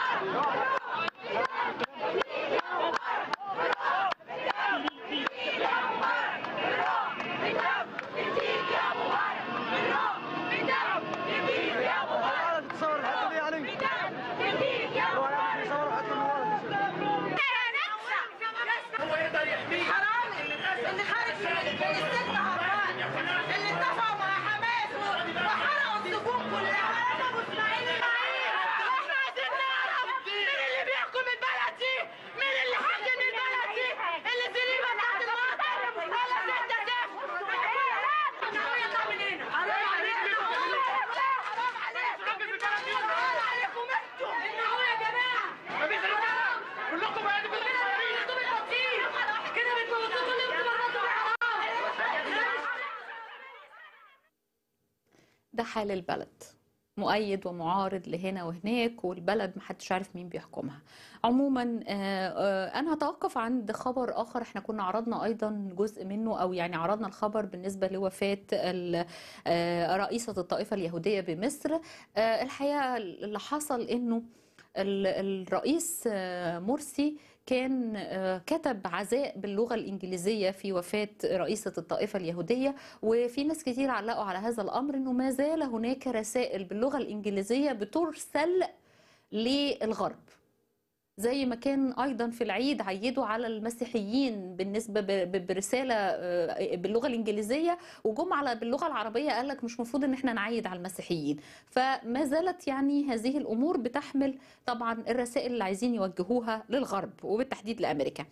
شيوعات زهرة اليو... زهرة الخميس من المعبد اليهودي بوابة السماء بشارع عدلي بوسط القاهرة جنازة ال- كارمن وينشتن رئيسة الطائفة اليهودية بمصر ورأس الصلاة صلاة الجناز الحاخام مارك الفاسي وهو حاخام فرنسي من أصل مغربي. قدم خصيصا إلى مصر لرئاسة صلاة الجناز وأقيمت وسط حراسة أمنية مشددة. حضر صلاة الجنازة سفراء إسرائيل وفرنسا وكندا بالقاهرة والدكتور علي السمان رئيس الاتحاد العالمي لحوار وثقافات الأديان فيما كانت ماجدة هارون الرئيسة الجديدة لطائفة الطائفة اليهودية بمصر على رأس مستقبلي حضور الجنازة. من يعني آه، نقول سخرية القدر الحقيقة وحال الأطباء المصريين في مصر إنه الطبيب في كل العالم تعتبر أعلى مهنة وأسمى مهنة إنه في مصر بيحاولوا كانوا بيغسلوا عربيات علشان خاطر يقولوا إن إحنا هنرز... هنسترزق أكتر من غسيل العربيات عن ما بناخد وعن مرتباتنا اللي بنقبضها من الحكومة. تخيلوا المأساة. أطباء يحتجون على تجاهل مطالبهم بتنظيف سيارات أمام دار الحكمة. لجأ عدد من شباب من شباب الأطباء ينتمون لحركات طبية مختلفة بينها ألتروس الأطباء. لجأوا بالأمس إلى حيلة جديدة لإبداء اعتراضهم على سياسة الدكتور محمد مرسي. وخلوا بالكم لابس الماسك وهو بيغسل العربية. معترضين على سياسة الدكتور محمد مرسي والدكتور هشام أنديل رئيس مجلس الوزراء في تجاهل مطالب الأطباء بعرض بعض المراجع والأجهزة الطبية وعلب المناديل للبيع أمام المرة في شارع القصر العيني أمام دار الحكمة. فيما أحضر بعض شباب الأطباء أدوات نظافة للسيارات ورفعوا لافتة نظ- نظف سيارتك مقابل خمسة جنيهات وهم يرتدون المعاطف البيضاء والكمامات. عاجبكم حال الأطباء يا رئيس أيها الرئيس محمد مرسي وهشام أنديل في مصر؟ تالي حرام عليكم يعني هو مش حال الأطباء بس هو حال كله يحزن طبعا. لكن حرام إن يكون الأطباء ال- يكون ده آه، يعني ده تعبيرهم عن إن أنتم مش قادرين تبصوا لمطالبهم اللي هي يعني أقل حق من حقوقهم. انتداب الخبر اللي بعده انتداب شرابي مستشارا قانونيا لوزير المالية بمباركة الإرشاد. آه، هناك مصدر قضائي مسؤول في وزارة العدل آه، بيقول إن المستشار وليد شرابي المتحدث باسم حركة قضاة من أجل مصر تم انتدابه مستشارا قانونيا لوزير المالية بعد فترة من تعيينه بديوان وزارة العدل في مكتب مساعد أول العدل وذلك في خطوة لم تخطر بها قيادات الوزارة وخاصة المستشار أحمد مكي وزير العدل الذي فوجئ بالقرار على حد قول المصدر. أضاف المصدر أن قرار انتداب شرابي وافق عليه مجلس القضاء الأعلى في اجتماعه الماضي دون أن يعلم وزير العدل أو أي من مساعدي الوزير. موضحا أن وليد شرابي كان منتدبا في مكتب مساعد أول وزير العدل وتم إلغاء انتدابه منذ شهرين لكنه عفوا لكنه لم يعد إلى عمله كمستشار بمحكمة جنوب القاهرة وفقا لما هو متبع في الأعراف القضائية وقانون السلطة القضائية. حلو جدا لما واحد يعين في وزارة العدل وما يكونش وزير العدل عارف. يعني حاجة برضو من سخرية القدر اللي بيحصل آه، في مصر. آه، كان أيضا هناك إصابة لثلاثة من المعارضة بعد اشتباكهم مع شباب الإخوان وخلال ده كان خلال مؤتمر للكتاتني بكفر الشيخ. آه، أيضا تم القبض على أعضاء 6 إبريل ب 6 إبريل بعد مداهمة الأمن لمنزلهم دون توجيه تهم محددة ويعتقد تورطهم في ال Black Bloc. ده تحت بند إنه المفترض إنه زي ما النائب العام أصدر قانون أو قرار بإنه آه، يتم القبض على أي حد يشتبه فيه في إنه من ال Black Bloc. اتكلمنا عن موضوع الحكم اللي صدر ضد هشام قنديل الحكم بحبس رئيس الوزراء هشام قنديل وعزله من منصبه محكمة جنح الدقي آه، قامت بالحكم على الدكتور هشام أنديل رئيس وزراء مصر بالحبس لمدة سنة وعزله من منصبه وذلك بسبب امتناع هشام أنديل عن تنفيذ حكم قضائي يقضي بإعادة شركة طنطا للكتان إلى ملكية الدولة. آه، تأييد حبس عبد الله بدر سنة وتغريمه 20 ألف جنيه في سب وقذف إلهام شاهين. محكمة جنح مستأنف الزاوية الحمراء قررت تأييد حبس عبد الله بدر سنة وتغريمه 5000 جنيه وكفالة 20 ألف جنيه لاتهامه بسب وقذف الفنانة إلهام شاهين. وذلك آه، بعدما رفضت الاستئناف المقدم منه على الأحكام الصادرة بحقه. يسري عبد الرازق محامي الفنانة إلهام شاهين طالب كان طلب في الجلسة الماضية تأييد الحكم الصادر بحق عبد الله بدر بحبس سنة وطلب تطبيق الشريعة الإسلامية في قول بدر لشاهين كم شخصا اعتلاكي. ونعتها بالزانية عفوا يعني لهذه الألفاظ لكن دي الألفاظ اللي كان تلفظ بيها المدعو عبد الله بدر اللي حكم عليه الآن بحبس سنة وتغريمه 20 ألف جنيه. الوطن جريدة الوطن بتنشر قائمة بالشركات المحالة للنيابة العامة بتهمة الاحتكار. حصلت جريدة الوطن على قائمة الشركات الكبرى ضمن الشركات ال 24 المحالة من جهاز حماية المنافسة ومنع الممارسات الممارسات الاحتكارية إلى النائب العام بتهمة الاحتكار والتحكم في الأسعار والتلاعب في السوق على حساب المستهلكين. ضمت القائمة عددا من الشركات الكبرى في سوق الدواجن على رأسها شركة القاهرة للدواجن التابعة لمجموعة أمريكانا المملوكة لعائلة الخرافي الخرافي الكويتية وشركة الإسماعيلية للدواجن فضلا عن شركات المنصورة للدواجن الوطنية والوادي. عندنا الأسماء الشركات اللي حصلت عليها الوطن القاهرة للدواجن إسماعيلية مصر للدواجن الوادي المنصورة كوهيت دسوقي الربيع السبيل الدولية الوطنية مصر العربية الأهرام العامرية الصالحية المتحدة ودي بعض الشركات اللي محتكرة في السوق وبتحدد هي آه، الأسعار وده اللي متسبب دلوقتي في غلاء الأسعار بشكل كبير. تم اعتداء من أحد شبان الإخوان المسلمين على آه، أحد شباب التيارات الإسلامية عموما على حمزاوي. على عمرو حمزاوي بالحذاء وده كان في حفل بجامعة بني سويف. الناس كلها توقفت عند إنه تساءل عمرو حمزاوي أنا مش فاهم ليه عملوا كده. كل قال له أنت مش فاهم لسه ليه عملوا كده؟ ده أنت راجل مثقف يعني ودارس علوم سياسية ما أنتش فاهم ليه التيارات الدينية ضربتك بالحذاء؟ اعتدى شباب من التيارات الإسلامية على الدكتور عمرو حمزاوي رئيس حزب الحضارة بإلقاء الحذاء عليه بعد إلقاء حمزاوي كلمة في حفل بكلية الآداب بجامعة بني سويف وده كان أثناء ركوب سيارته وخروجه من الجامعة. وبيقول إن هو آه، يعني صرح بهذا حمزاوي نفسه عبر موقع التواصل الاجتماعي تويتر.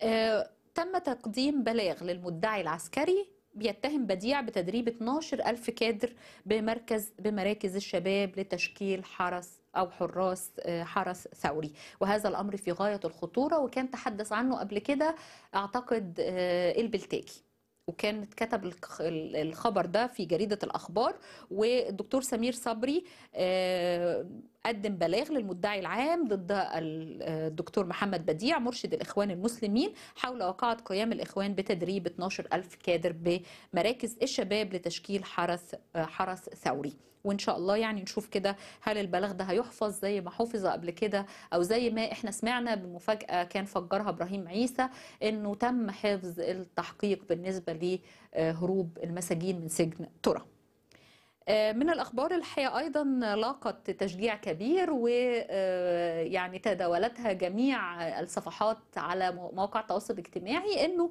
تم وضع اسم باسم يوسف ضمن قائمة التايم لأكثر 100 شخصية مؤثرة بالعالم في عام 2013 قامت مجلة التايم الأمريكية باختيار الإعلامي باسم يوسف ضمن أكثر من 100 شخصية أو أكثر 100 أكثر 100 شخصية مؤثرة بالعالم لعام 2013 باسم يوسف على حسابه على تويتر آه، قال إنه آه، لقد شرفت باختياري ضمن أكثر 100 شخصية مؤثرة بالعالم. طيب نستمع بقى لبعض الفيديوهات كده أعزائي المشاهدين وخلينا ناخد الفيديو اللي أنا أعلنت لحضراتكم عنه فيديو ريهام سعيد. ريهام سعيد بتفضح الشيخ يوسف البدري. ده الحقيقة زي ما قلت لحضراتكم من أكثر الفيديوهات اللي تم تداولها. لينا حوالي يومين كده والكل بيتداول هذا الفيديو وكثيرين جدا ب آه، يعني يقدموا تحية لريهام على جرأتها. والفيديو كان تحت عنوان الإعلامية ريهام آه، عفوا خناقة ريهام سعيد مع الشيخ يوسف البد- البدري. وتخلع الحجاب وبتقول له أنت واخد ألف جنيه علشان تيجي تهزقني وتنسحب. بيلمسها؟ بيلمسها؟ يعني ركن يلمس إيه؟ يعني لازم تمسك دماغي مثلا عشان تعملي ركن لا لا ما يلمسهاش. من من بعيد. لا ما يلمسهاش. والصور التي نشرت أنا فين اللي في فين رندا؟ رندا أنا مش قلت لك هذا الكلام لا يجوز. قلت لك هذا الكلام لا يجوز. وهذا الكلام في قضية شغالة. والحمد لله اتحبس البنتين لكذبهم وتزويرهم الصور. أنا ما جبتش سيرة مرة- البنتين. أيوه أنا بقول أهو. واتحبسوا. وإن شاء الله بس معاهم في التنفيذ. وإن شاء الله في نقد. وبإذن الله تعالى في النقد هيكون على فكرة الناس مش فاهمة يا حاجة. ابناتي أرجوك لو سمحتي هذا الكلام تعريض هذا الكلام تعريض يا غي- غيري الموضوع تكلمي. في أمور تهم الناس.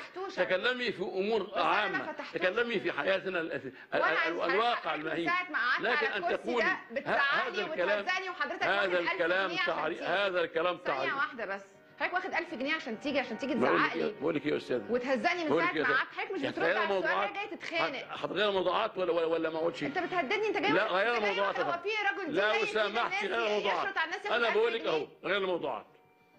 غير الموضوعات. حضرتك اللي بتشرط عليا يا إيه؟ أستاذة غير أنا ما الموضوعات. اتكلمتش موضوع في غير موضوع الموضوعات بقول لك والبس حجاب لا مش لابساه. أنا براحتك. لما ربنا خلاص عشان ربنا خلاص. مش عشان حد. أنا أنا اشترطت قبل قبل ما اقعد ولازم أنا شرط يبقى عندك مبدأ. وأنت وافقت. بره؟ وضعت الحجاب. وافقتش. تشيلي تاني ليه؟ لا أنا ما وافقتش. ترجع في كلامك ليه؟ لا أنا ما وافقتش. أنت هكذا. وبعدين لا ما وافقتش. وحجاب إيه اللي محطوط وشعري يا؟ أستاذ رندا أنا قايل لك هذا الكلام لا- أنتوا جايبين الضيف علشان تمرمطوه.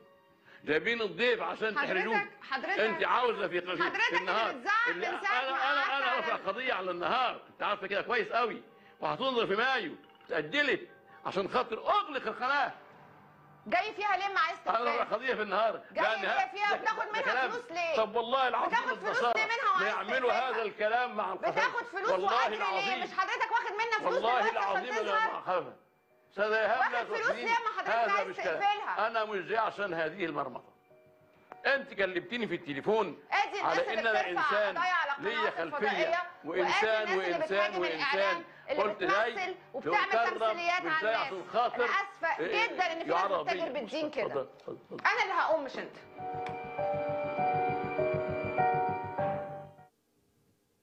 طيب يعني كانت طبعا هي الجملة الأخيرة هي مغزى هذا الأمر بأنه آدي الناس اللي بتتاجر في الدين وللأسف الشديد. عموما نروح بقى كمان لفيديو هام أيضا وتعليق من الإعلامي عمرو أديب على آه، آه، موضوع آه، هروب آه، مرسي والآخرين من سجن وادي النطرون.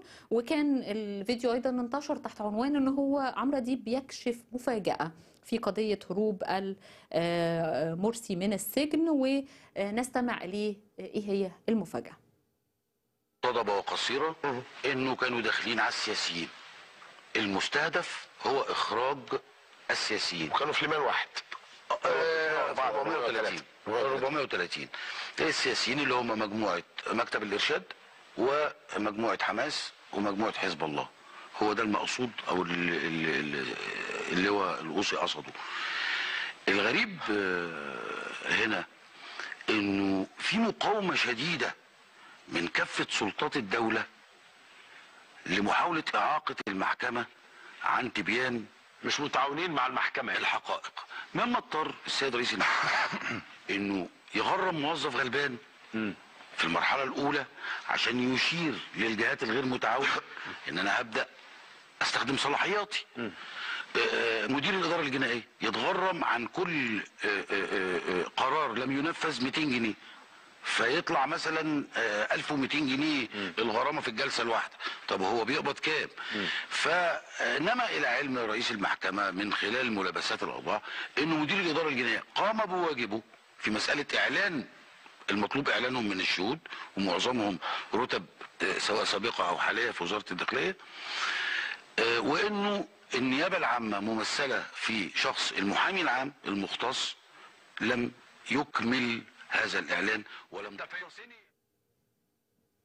طيب يعني المفترض إنه يعني كده آه، كل اللي حصل بعد موضوع الهروب من السجن بما فيها اختياره كرئيس الجمهورية المفترض ان هو كده آه، يكون آه، يعني غير شرعي ومخالف للقانون.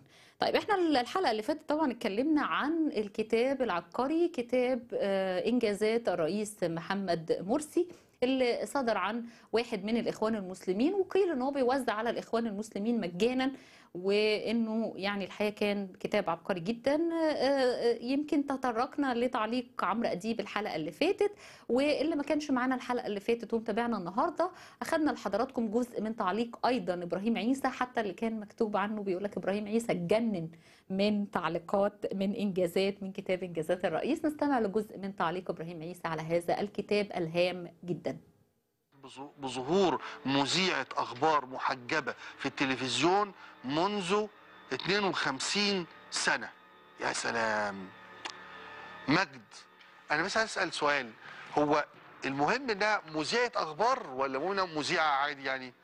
أصل برضه هو مش أول واحد مش أول رئيس ظهرت عنده مذيعة أخبار محجبة الحقيقة أو مذيعة محجبة يعني. السيدة كريمان حمزة كانت في فترة آه، آه، آه، رئيسين. السادات ومبارك وكانت محجبة إنها مش مذيعه أخبار الحقيقة الإنجاز العظيم انها مذيعه أخبار إيه الإنجاز ده؟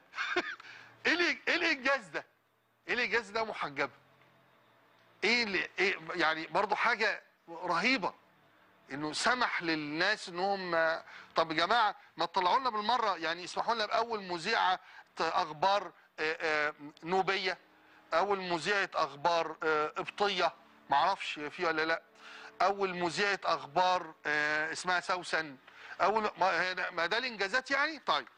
أول رئيس مصري ابنه يحصل على أقل من 90% في نتائج الثانوية العامة. أنت ما تعرفش حاجة خالص. أنت ما تعرفش أي تاريخ ولا تعرف حياة الناس ولا تعرف و... يعني اللي بي... اللي بيمتدحوا مرسي بهذا الكلام الفارغ الهش التافه ما يعرفوش حتى إنه ما فيش رئيس مصري ابنه جاب أكتر من 90% ابدا. إيه رأيك؟ اولا التسعينات والأرقام دي أساسا زمان أيام عبد الناصر والسادات كانش مطروحة. يعني ما كانش مطروحة أصلا في الموضوع. وكل الرؤساء ولادهم جابوا أقل من 90% يا فالح. اول رئيس عربي مدني ينقلب على العسكر. إحنا الحقيقة لما شفنا الدكتور مرسي وهو واقف الوقفة دي بتاعت بتاعت العسكر مع العسكر. ما كانش شكله الحقيقة منقلب عليهم خالص. ده شك كان شكله شكلهم هم اللي منقلب عليه. فمعرفش ده مش شكل واحد أو رئيس عربي ابنه يعمل موظفا في الخارج. يلا انت خلاص مش معقول. ما جمال مبارك كان بيعمل في الخارج يا ابني اتخرج وبيعمل في الخارج كان في بنك في لندن. هو خلاص هو ما فيش خالص. هو أنتوا ميح كده وبيزعلوا. وبيشتكوا من الإعلام. إعلام يا أخي مش تربوا ناس بتاعكم أساسا مش لما يبقى عندك ناس بتفهم تدافع عنك تبقى تلوم اللي بيهاجمك. ده موجود في الإنجازات إنه إقالة النائب العام. وقام مرسي بذلك بعدما وجد أن كل قضايا قتل الثوار تنتهي دون إدانة. وانتشار الفساد والخراب في البلاد دون تحرك النائب العام لإنقاذ البلاد. طب بذمتك إيه المستوى العقلي؟ حد يروح يعني يناقش عقلية سياسية بتفكر بالطريقة دي الطريقة البلهاء. طيب يقول لك إيه بقى؟ في أربع شهور النائب العام الجديد عمل إيه بقى؟ التحقيق في الجرائم المتعلقة بقتل وإصابة الثوار ان ان ان ان ان, أن. إصدار قرار القبض على ال Black Bloc. خد بالك إنه ال Black Bloc دي طلعت لما طلعت طلعت عبد الله مش قبله. إصدار قرار القبض على المخربين. رفع الحصانة عن مستشار الزند ما حصلش. ولا يملك هو حتى رفع الحصانة ويطلبها ما بيقولهاش. تطوير العمل بالنيابة العامة. إنشاء موقع للنيابة على الإنترنت. من الانجازات العظيمة اللي منع آل ساويرس طيب يعني أعتقد كده إحنا عرضنا يمكن أكتر اتنين كان ليهم أسلوب ساخر جميل في طبعا التعليق على هذه الإنجازات الخارقة للطبيعة. يعني عشان الوقت كان في كمان الحقيقة الكاتبة سعاد يونس كانت أيضا كتبت كده شوية كلام إن هي ليها أيضا إنجازات ومحدش أحسن من حد وأنا اللي فاكراه من مقالها يعني إن هي بتقول لك أنا بعرف امع الباميه كمان وبامعها بشكل كده مفيش أي ست في مصر بتعرف تامعها وان هي بتصحى برده من النوم بدري وبس أحيانا بتنام شوية كل دي كانت إنجازات أيضا للمبدعة اسعاد يونس. ممكن أبقى أوعدكم في حلقة تانية نحاول نستعرض هذه الإنجازات. لكن النهارده الحقيقة نتوقف عند موضوع أيضا وهجمة على يعني الأستاذة الصحفية حنان فكري وهي عضوه الآن بمجلس نقابة الصحفيين. الحقيقة مش اول مرة تتعرض الأستاذة حنان لهجمات لكن الحقيقة عايزين نفهم منها أيضا إيه اللي حصل وإيه حقيقة الأمور. وهي معانا الآن برحب بحضرتك أستاذة حنان وقبل ما ندخل في أي أمور بحب أهني حضرتك لأنك أول معانا أول مرة معانا بعد انتخابات النقابة وإن حضرتك عضو الآن في مجلس نقابة الصحفيين. يخليكي متشكره جدا.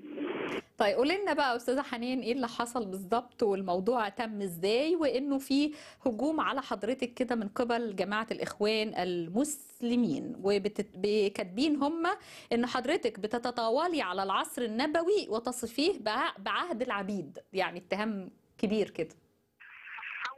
اولا طبعا يعني زي ما حضرتك أشرت في بداية الكلام ان دي مش المرة الأولى اللي اتعرض لهجمه ولتلفيق آه، واختلاق أكاذيب لم ترد على لساني أو لم تصدر عني اطلاقا. آه، يبدو إن الهجمه متوسطه كلما آه، اشتد النشاط كلما اشتدت الهجمة. نعم. اولا الهجمة بس مش عليا أنا بس لكن يبدو إن هم عايزين يهاجموا مجلس النقابة كله لأنه من اليسار كل المجلس تقريبا أو معظمه. فده مش على هواهم فشايفين إن ممكن أكون أنا مثلا ال- ال- المنطقة اللي ممكن يدخلوا منها للمجلس لكوني مسيحية. وهم قد يعتبروا إن ده نقطة ضعف.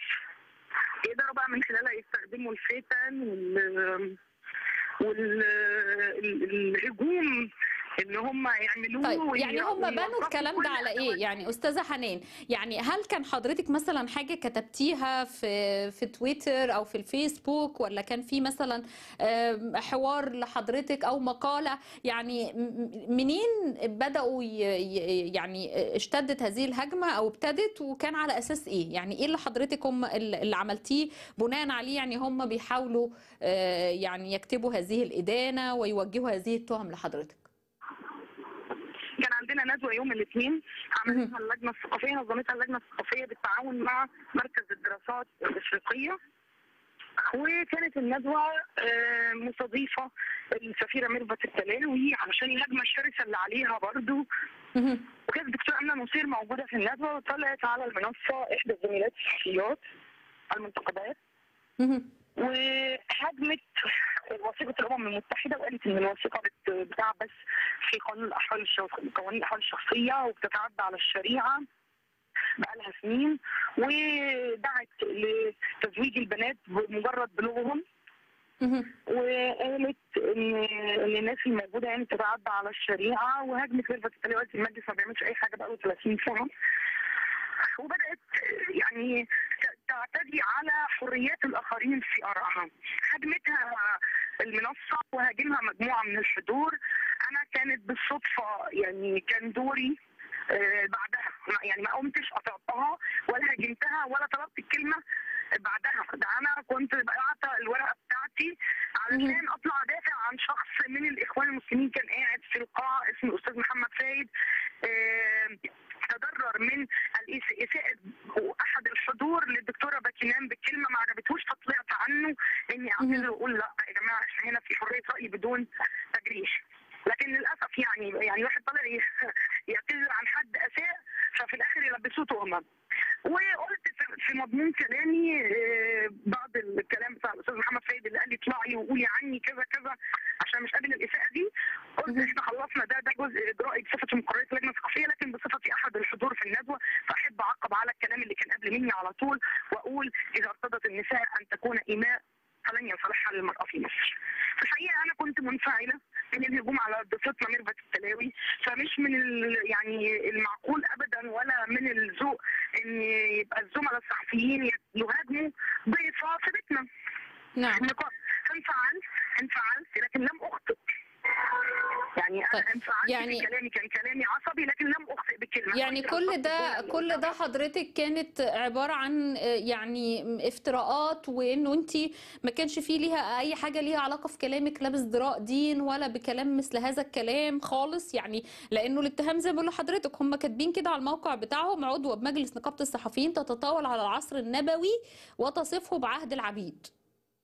لم لم أصف لا العصر ولا جيب سيرته ولا جيب سيرة أديان ولا سيرة العصر النبوي بأي شيء ولم يرد يرد في ذهني أصلا. يعني في الموضوع ما طرقش حتى على ذهني. أنا كنت برد على كلام في المطلق وفي بوجه عام حتى الصحفيه نفسها قالت انت أنت بتهينيني بشكل شخصي بتقولي عليا اما رديت عليها على الفور وحضرتك الفيديو مرفوع على على اليوتيوب باسم التلفيق. تقدري تجيبيه دلوقتي وتعرضيه كلامي وكلامها. وقالت قالت انت بت- بتدعي عليا ان أنا وبتوصفيني بإني أنا بتشتميني قلت لها يا استاذه أنا لم اشخصن الأمور وما بوصفكيش بشكل شخصي. أنا بتكلم بوجه عام على مضمون الكلام قالت طب أنا هشتكيكي راحت بعد كده شهود العيان اللي كانوا حاضرين بالندوه من الصحفيين زملائنا.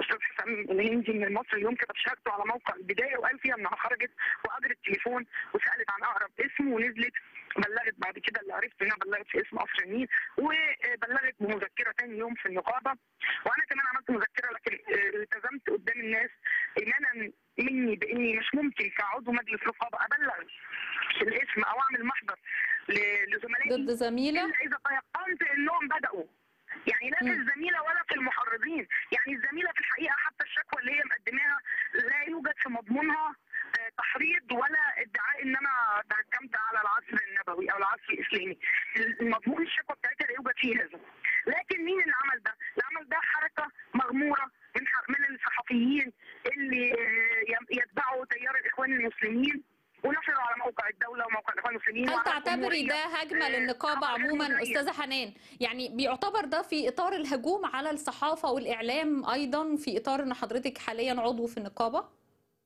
آه طبعا بصي حضرتك هو أنا الهجوم عليا بقاله فتره من نفس الصحفيين دول ليهم فتره وليهم اذرع ثانية أنا عارفاها بالاسم لكن مش هقولها هم عارفين نفسهم كويس جدا آه هم ليهم فتره بيهاجموني من زمان من اول ما بدات اعمل نشاط في العمل العام آه، قوي وكبير ومسمع لما بدات آه، يعني يبقى لي نشاط نقابي هم حاسين ان أنا ممكن ارشح نفسي رشحت نفسي السنة اللي فاتت الدوره اللي فاتت آه، طبعا هاجموني جدا وأنا القيت ده ورا ظهري لكن المره دي المره دي بعد ما نجحت طبعا شايفين ان دي صفعه على آه، وجوههم آه، ست امراه ومسيحيه وشابه فده بالنسبة لهم شيء يعني ازعجهم جدا جدا عموما يعني إحنا ينالوا مني يلفقوا لي بالظبط إحنا عموما بنحيي حضرتك استاذه حنان يعني بنحيي حضرتك وبنحيي نشاطك أيضا وأعتقد إن إحنا كده وضحنا الأمر للمشاهدين. أنا بشكر حضرتك جدا وإن شاء الله هنتابع مع حضرتك برضو آه، إيه التطورات في هذا الأمر. الحقيقة كان زي ما قلت لحضراتكم إن المسيرات للأقباط كانت على مستوى العالم. كان في مسيرات كانت في آه، واشنطن. آلاف المصريين شاركوا في هذه المسيرة التي كانت بالأمس الخميس وكان عندنا أيضا مجموعة من الصور الكبيرة وكمان في هيكون يوم السبت 20 إبريل. آه، من ميسيساجا في تورونتو.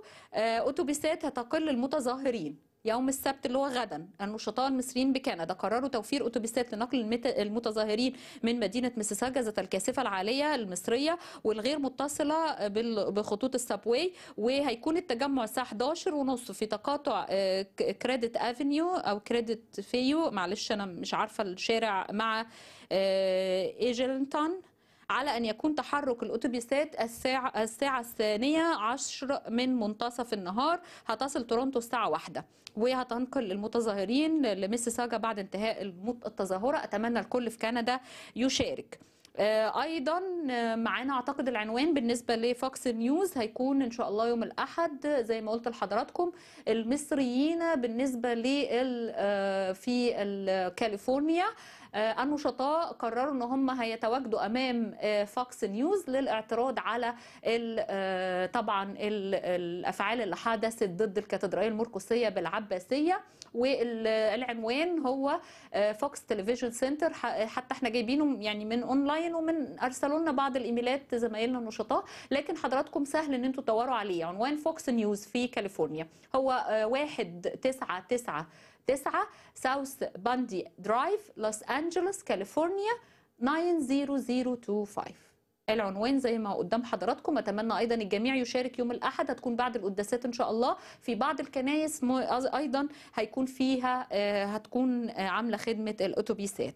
آه، كمان في عودة أسر مسيحية وأسر من ليبيا اليومين دول. وكان أعتقد الأسر اللي هم اتكلمنا مع الأستاذة رجاء واللي هم الثلاثه وشريف كمان كانوا خلال الفترة اللي فاتت رجعوا من ليبيا. البابا تودروس له نشاط كبير هذه الأيام وكان في زيارة كان آه، دشن المسبح في كنيسة ماري جرجس هليوبلس وأيضا كمان حضراتكم آه، كان آه، في الجولة هذه الأيام وأيضا في سوهاج آه، وكان في استقبال آه، بشكل كبير جدا الحقيقة لقداسة البابا تودروس. وقبل قبل ما يروح كان عرفنا إن في تكثيف أمني كمان. الأقباط استقبلوا البابا تودروس بالروح بالدم نفديك يا بابا. والبابا بيقول السنة الأولى من خدمتي سوف تتركز على زيارة الأديرة لأنها مصدر الصلاة. وهو زار هناك الدير في بعض الأديرة. وسوهاج معروفة على فكرة وفي رحلات كتير حتى بتنظم لأديرة سوهاج بالتحديد. آه، البابا آه، كان زار آه، هناك أكثر يعني الزيارة الرئيسية كانت للدير الأبيض اللي هو دير الأنبا شنودة رئيس المتوحدين. وأيضا تم استقبالات حافلة لقداسة البابا. وأعتقد إنه يعني آه، الكل متابع الفعاليات الجميلة لزيارة قداسة البابا لسوهاج وأقباط سوهاج سعداء جدا بهذه الزيارة. كان هناك في استقباله لفيف من أساقفة الكنيسة على رأسهم الانبا ويسا مطران الكشح الانبا بي من آه، بخوم أسقف سوهاج. الانبا أشعيا أسقف طهطا والانبا بسادة أسقف أخميم والانبا مكاريوس أسقف جرجا والانبا لوكاس أسقف أبنوب والفتح والانبا توماس أسقف القصيه وحصل اول ما وصل قداسة البابا كان بدأ الأم- ال- ال- الزيارة بصلاة الشكر بالكنيسة الأثرية للأنبا شنودة رئيس المتوحدين وقال إن هو سعيد بهذه الزيارة لهذا المكان المقدس اللي زاره وهو في السادسة من عمره. فلم يكن الدير عامر مثل اليوم مشيرا إلى أنه يرى في الأديرة بركة عظيمة وإن هي مصدر الصلاة وعشان كده خصص السنة الأولى لزيارة الأديرة. تحرك البابا السنة الأولى في حبريته. تحرك البابا بعد ذلك إلى مركز الاستقبال أسرع الأقباط ورائه وهم يهتفون بالروح بالدم نفديك يا سيدنا ردا وتضامنا معه على ما تعرضت له الكاتدرائيه المرقسيه من اعتداءات. وطبعا يعني كمان في مسيرة لشباب مسبيرو في مصر مسيرة في واشنطن مسيرات في كندا إنجلترا كانت برضه سامعة إن في مسيرة تاني هتت بتد يعني بيجهزوا ليها في سيدني.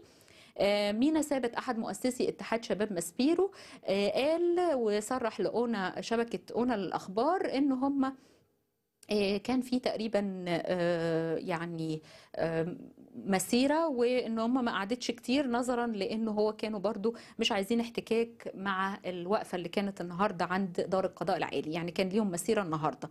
وأعتقد إن الأمور مش هت مش هت يعني آه، مش هتتوقف عند المسيرات دي. آه، ده أعتقد صور من مسيرة واشنطن قدام البيت الأبيض زي ما حضراتكم شايفين. وأعداد كبيرة وإن شاء الله يعني آه، خلال الحلقات الأخرى هنحاول أيضا نستعرض كل آه، يعني المتاح أكتر من هذه المسيرات وردود الأفعال لأنه في آه، فيديوهات هيبدأوا النشطاء يرفعوها أو بدأوا بالفعل رفعها على مواقع آه، على موقع اليوتيوب وهنحاول أيضا نعرضها كلها على يعني ده بعض منها والكلام الخبر كان بيقول آلاف شاركوا في هذه المسيرة. مش عايزين حد يكسل في الفترة اللي جاية في المشاركة بالنسبة للمسيرات اللي هتتعمل على مستوى العالم لأن لازم العالم كله يعرف إن في مصر في عهد الرئيس مرسي وإنجازاته اللي هو فعلا بيبني مصر من جديد آه، من في إطار فعاليات بنائه لمصر تم الاعتداء على آه، المؤسسة الرمزية الكبيرة للأقباط الأرثوذكس على مستوى العالم واللي هي الكاتدرائية المرقسية لل- في العباسية.